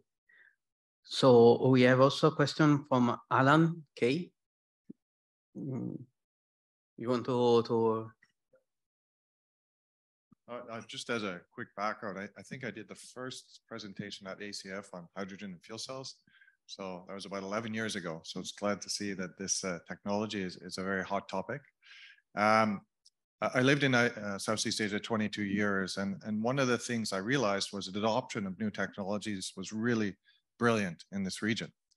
Uh, but I'm a little bit surprised in the technology I work in in the last 16 years. To be fair, uh, and I live in Europe now, Southeast Asia by far is the world laggard on green hydrogen, on, on green technologies such as hydrogen and fuel cells when you look at a global perspective, to be fair. And, and I'm not trying to be critical, but I, I try to understand that because adoption of technologies has always been wonderful in this region, but this particular technology, honestly, uh, Africa, uh, South America, other countries or other regions are far, far ahead of Southeast Asia. And I don't quite understand why it's so far behind the rest of the world. So is anyone from the panel willing to take uh, this? Nice, I, I like this question. You guys get scared, I'll answer. So, but so I let's guess go someone ahead. from Southeast Asia. We have to- um, well, um, I think the challenge of fuel cell technology is uh, is basically infrastructure, um, and um uh, and also investment required to, to support for the infrastructure. Uh, in any case, in regards to what John was saying, you know, in terms of technology development R and D, uh, the fuel cells. I mean, in the roadmap when we publish, we'll show that actually in, in the case of Malaysia at least, uh, the focus of R&D has always been in that in that midstream, uh, going to call that delivery technology rather than others, including fuel cells. Uh, one particular good university is the National University of Malaysia, is focusing on fuel cell technology, the, the, the kinds of electrolyzer, PEM and whatnot that they are doing, uh, have, have patents. But I guess again, the challenge is is uh, when talk about how the regions are ahead in terms of commercializing it or making a full use of it out of the in the real world, is is where the um, part of the infrastructure maybe perhaps uh, uh, there are also other what they call the policy um, uh, consideration when you talk about uh, potentials for using of uh, renewables and other alternative fuels uh, to to support or to replace uh, transportation uh, consumption. Uh, well, that I mean that, that's that's some initial um, feel that I have in regards to fuel cells. Uh, I'm not sure because I've not. Uh, you said maybe maybe it's true that other regions, South Africa and and South America ahead, but I need to maybe there's some other factors, including policy interventions that the, the regions over there are better. So maybe um, we'll we'll we'll we'll, get, we'll dive deep dive deep dive in that. So. I think I also want to add a point about Malaysia there. I remember meeting a gentleman in Kuala Lumpur just two weeks ago in one of the ASEAN Green Hydrogen conferences. And uh, this professor was, was funded by Petronas to build fuel cells in 2006. And he built a electrolyzer in 2014, 15, Professor Dato. And in India, this is in fact the third wave of uh, hydrogen development in terms of policy. They've been pushing for this since the early, you know, since the 90s. But I think Southeast Asia um, and India, for that matter, you know, we had so many other challenges uh, that we faced to come where we are today. But uh, I don't know the situation in Africa or anywhere else in the globe to make a comparison. But all I can say is, you know, we've done our bit, but maybe may be behind, but I can be sure that we catch up. Okay, I think Peter, you have a question uh, for Uh, yeah, it's, it's actually linked to something I've referenced in our presentation actually earlier. And, and, and Nishant, you, you sort of said some really interesting um, ideas like uh, electrolyzer leasing and talked about contracts for difference as well for longer term um, agreements. And it's more that latter. Um, have you seen any any interest or potential hypotheticals on other types of innovative mechanisms? So I was talking before about things like advanced market commitments or you know, patent buyouts, pay for success bonds, these types of approaches that the governments can help to facilitate anything. Is that something that for green hydrogen might be a solution? Well, um, I've been in so many discussions. Nobody's, you know, asked me something like this back, and I did take note of your presentation. And um, I think um, all possibilities exist, right? And now to begin with, for example, even with our uh, electrolyzer leasing model, there was um, this conversation actually happened in London. My partner who runs the whole finance, uh, he sits out of London, and um, there was an insurance provider who was ready to, you know, guarantee uh, efficiency loss and also revenue loss, right? Just for a few basis points on, you know, on top of the price. So in addition to that, I think the other model that we're looking at is um, the one that German ha- Germany has, H2O, you know, the, I think it's called the European Hydrogen Bank. I'm not sure if there's one, uh, but Germany also has one with nationally. And in India, um, I don't know if many of you all know, India has the lowest solar prices. And when we had to kick off this industry, India had an aggregator model called SECI. And now if we can do the same thing for hydrogen, where we have an aggregator, right? And this, uh, this could be a national level aggregator, sector-based, state-based, and we sign long-term agreements and, you know, and, you know, FCDO or, you know, ADB and even the governments can come in, you know, finance those CFDs, or it could be a listed instrument that, you know, if we can prove it, uh, there was an insurance fund as well that was interested in this, right? If, you know, once, once it's, it's up and it's kicked off, they're ready to buy into this, right? So a long-term fund like that also can help finance this. Um, but, you know, I'll be happy to take this conversation uh, offline and introduce you to Sanmit, who will be better equipped to answer this. Thank you. Cheers. Oh, the lady had a question. I guess it was about certification. Yeah, thank Correct. you. Yeah, I'm interested in hydrogen certification. I noticed uh, more and more countries starting to implement hydrogen certificate, some planning like UK, European Union, Korea, Japan, right? So then for exporting hydrogen countries, right? Do we have to take every certificate? That's costly, right? I think would be better if countries said, yes, we have our national certificate, but we also accept UK, European Union, and other countries if you have. So then exporter will take only one certificate and that's it, rather than taking each country certificate. Thank you. I think uh, uh, who wants to take it, but I think Dr. Atman also. Certificates. Well, that's that's also another. Um, so we have these five stars and 29 action plans in the. So we're talking about also certification, as as the worlds are evolving towards it. But um, yeah, there's there's this challenge in the law. I can't remember the TCISO referrals. Um, what was that in for hydrogen? So the challenge is that in Malaysia, that is not amongst industry players, um, uh, and anything that that they are looking at. So it's already it's in the in the in something that we're looking at. Uh, can't recall the the, the ISO or the TC standards certification, but yeah, yeah, it's it's uh, it's quite lacking, quite lagging in terms of uh, I mean adopting it uh, in these industry players that we are going to be um, focusing on. I mean, one of the things that we are have listed in, in the strategies. Okay, and maybe it's just to add on, I mean, sta- standardization is really a key issue when it comes to certification because you indeed see that many different countries are adopting different standards, both in terms of what their carbon thresholds are. Is it 3.4 kilograms? Is it four kilograms like in Korea? Uh, but also in terms of like what the additional requirements are. Do you have additionality, meaning you can't take renewables away from the grid that are already on the grid?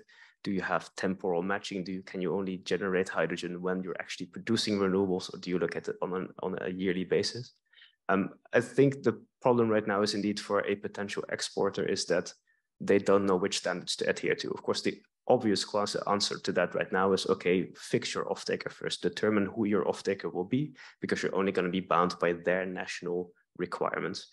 Um, of course, in general, that's a risk also because these thresholds might change over time. So definitely like harmonization across different countries would really benefit in kind of de-risking this from, from a supplier perspective.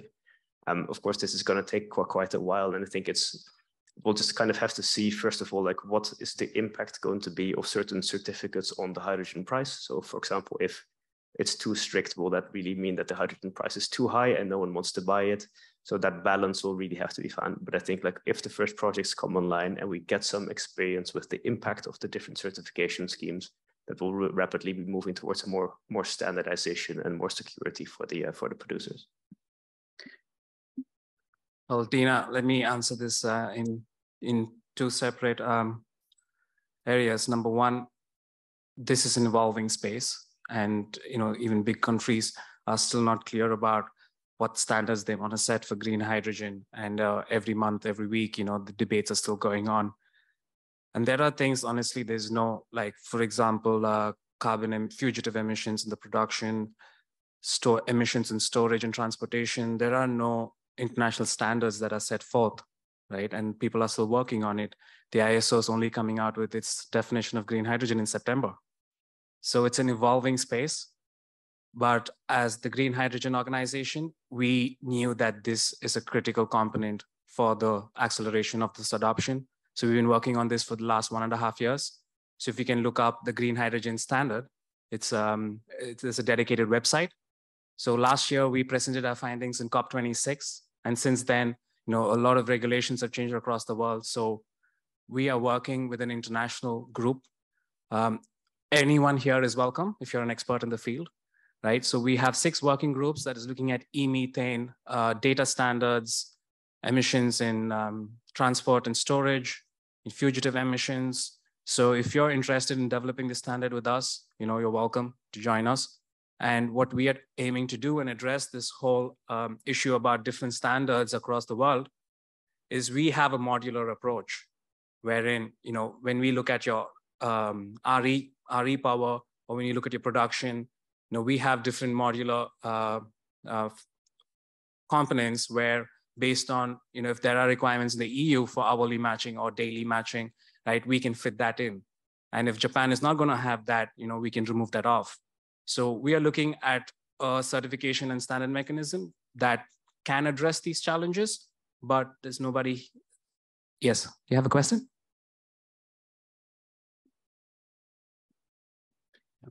Uh, my name is Ed Travis. I'm a PhD student over at uh, University of the Philippines studying H2 production. Uh, an important part of my research involves uh, the, the geospatial siting of H2 production. And uh, been a number of great presentations today addressing that issue. But over two sessions, I think we missed one important aspect of H2 production, and that is, uh, for example, if you do a Google search on the topic of uh, the water crisis, you find that uh, there's a lot of concern about the supply of water for things like agriculture human needs, much less electrolysis. So my question is uh, specifically for Serene uh, in Singapore, I know they have a very well managed supply of water using various supplies. And also for MATS on a more general sense, uh, is this uh, is this something I should be concerned about? I know there's research under being taken on in China and other places about using salt water as a supply. Uh, it's not very far advanced yet, but uh, is this something that I should be concerned about in my research, or is this a real problem? Thank you. So just to I take out of a second my role as moderator, but uh, IRENA is studying this topic in particular as a speaker. Uh, it's uh, not a problem uh, of, of, water in, in, total because we consume way more water for agriculture and power yes. generation and coal uh, and so on and so forth. The issue of water is mostly local for the hydrogen production plant that may that some hydrogen gigafactories are placed in places that will have water stress in the future and yeah. will compete for water. That, that's that's actually a that's actually an issue, and we are going to publish a report about it uh, uh, in a few months. But now Great. back to yeah, the I'll panelists. Just add, if I could, before yeah, yeah, yeah. If anyone has in, any, in Malaysia, uh, for example, I know that places like East Malaysia and Peninsular Malaysia, you know, the Peninsular Malaysia, Sarawak in uh, Perak, they've got great sources of water in the in the closed mines, the tin mines. But it's a general question, not specific to any one country. Ed, we've run out of time, mate. Yeah. I'm sorry, we've run I'm out sorry, of time. we, I said zero. This one offline and chat about it Mark. Okay. Okay, thanks, mate. I have to ask you to finish up. Yeah, so this is, I see a, a blinking zero in front of me. I think the bomb is exploded. But, uh, boom. Uh, but oh, we had an earthquake already today. I think uh, uh, it was productive. Uh, I think uh, what we learned today is that hydrogen in Southeast Asia is possible. Hydrogen in Southeast Asia, there is a market. There is someone who wants to buy it. There is someone who can produce it. Uh, but uh, not, it will not happen without collaboration. And maybe ADB can provide that platform for this kind of collaboration in the region. Thank you, Daniele. I'm sorry, Emanuele. My apologies. My colleague was Daniele. Um, just to finish off, firstly, thank you to all the panelists and thank you everyone who's come in. A couple of very interesting points out of that. Um, that over these two sessions, there's a case of that there are low hanging fruit that we should do, and there are things that we should not be engaged in.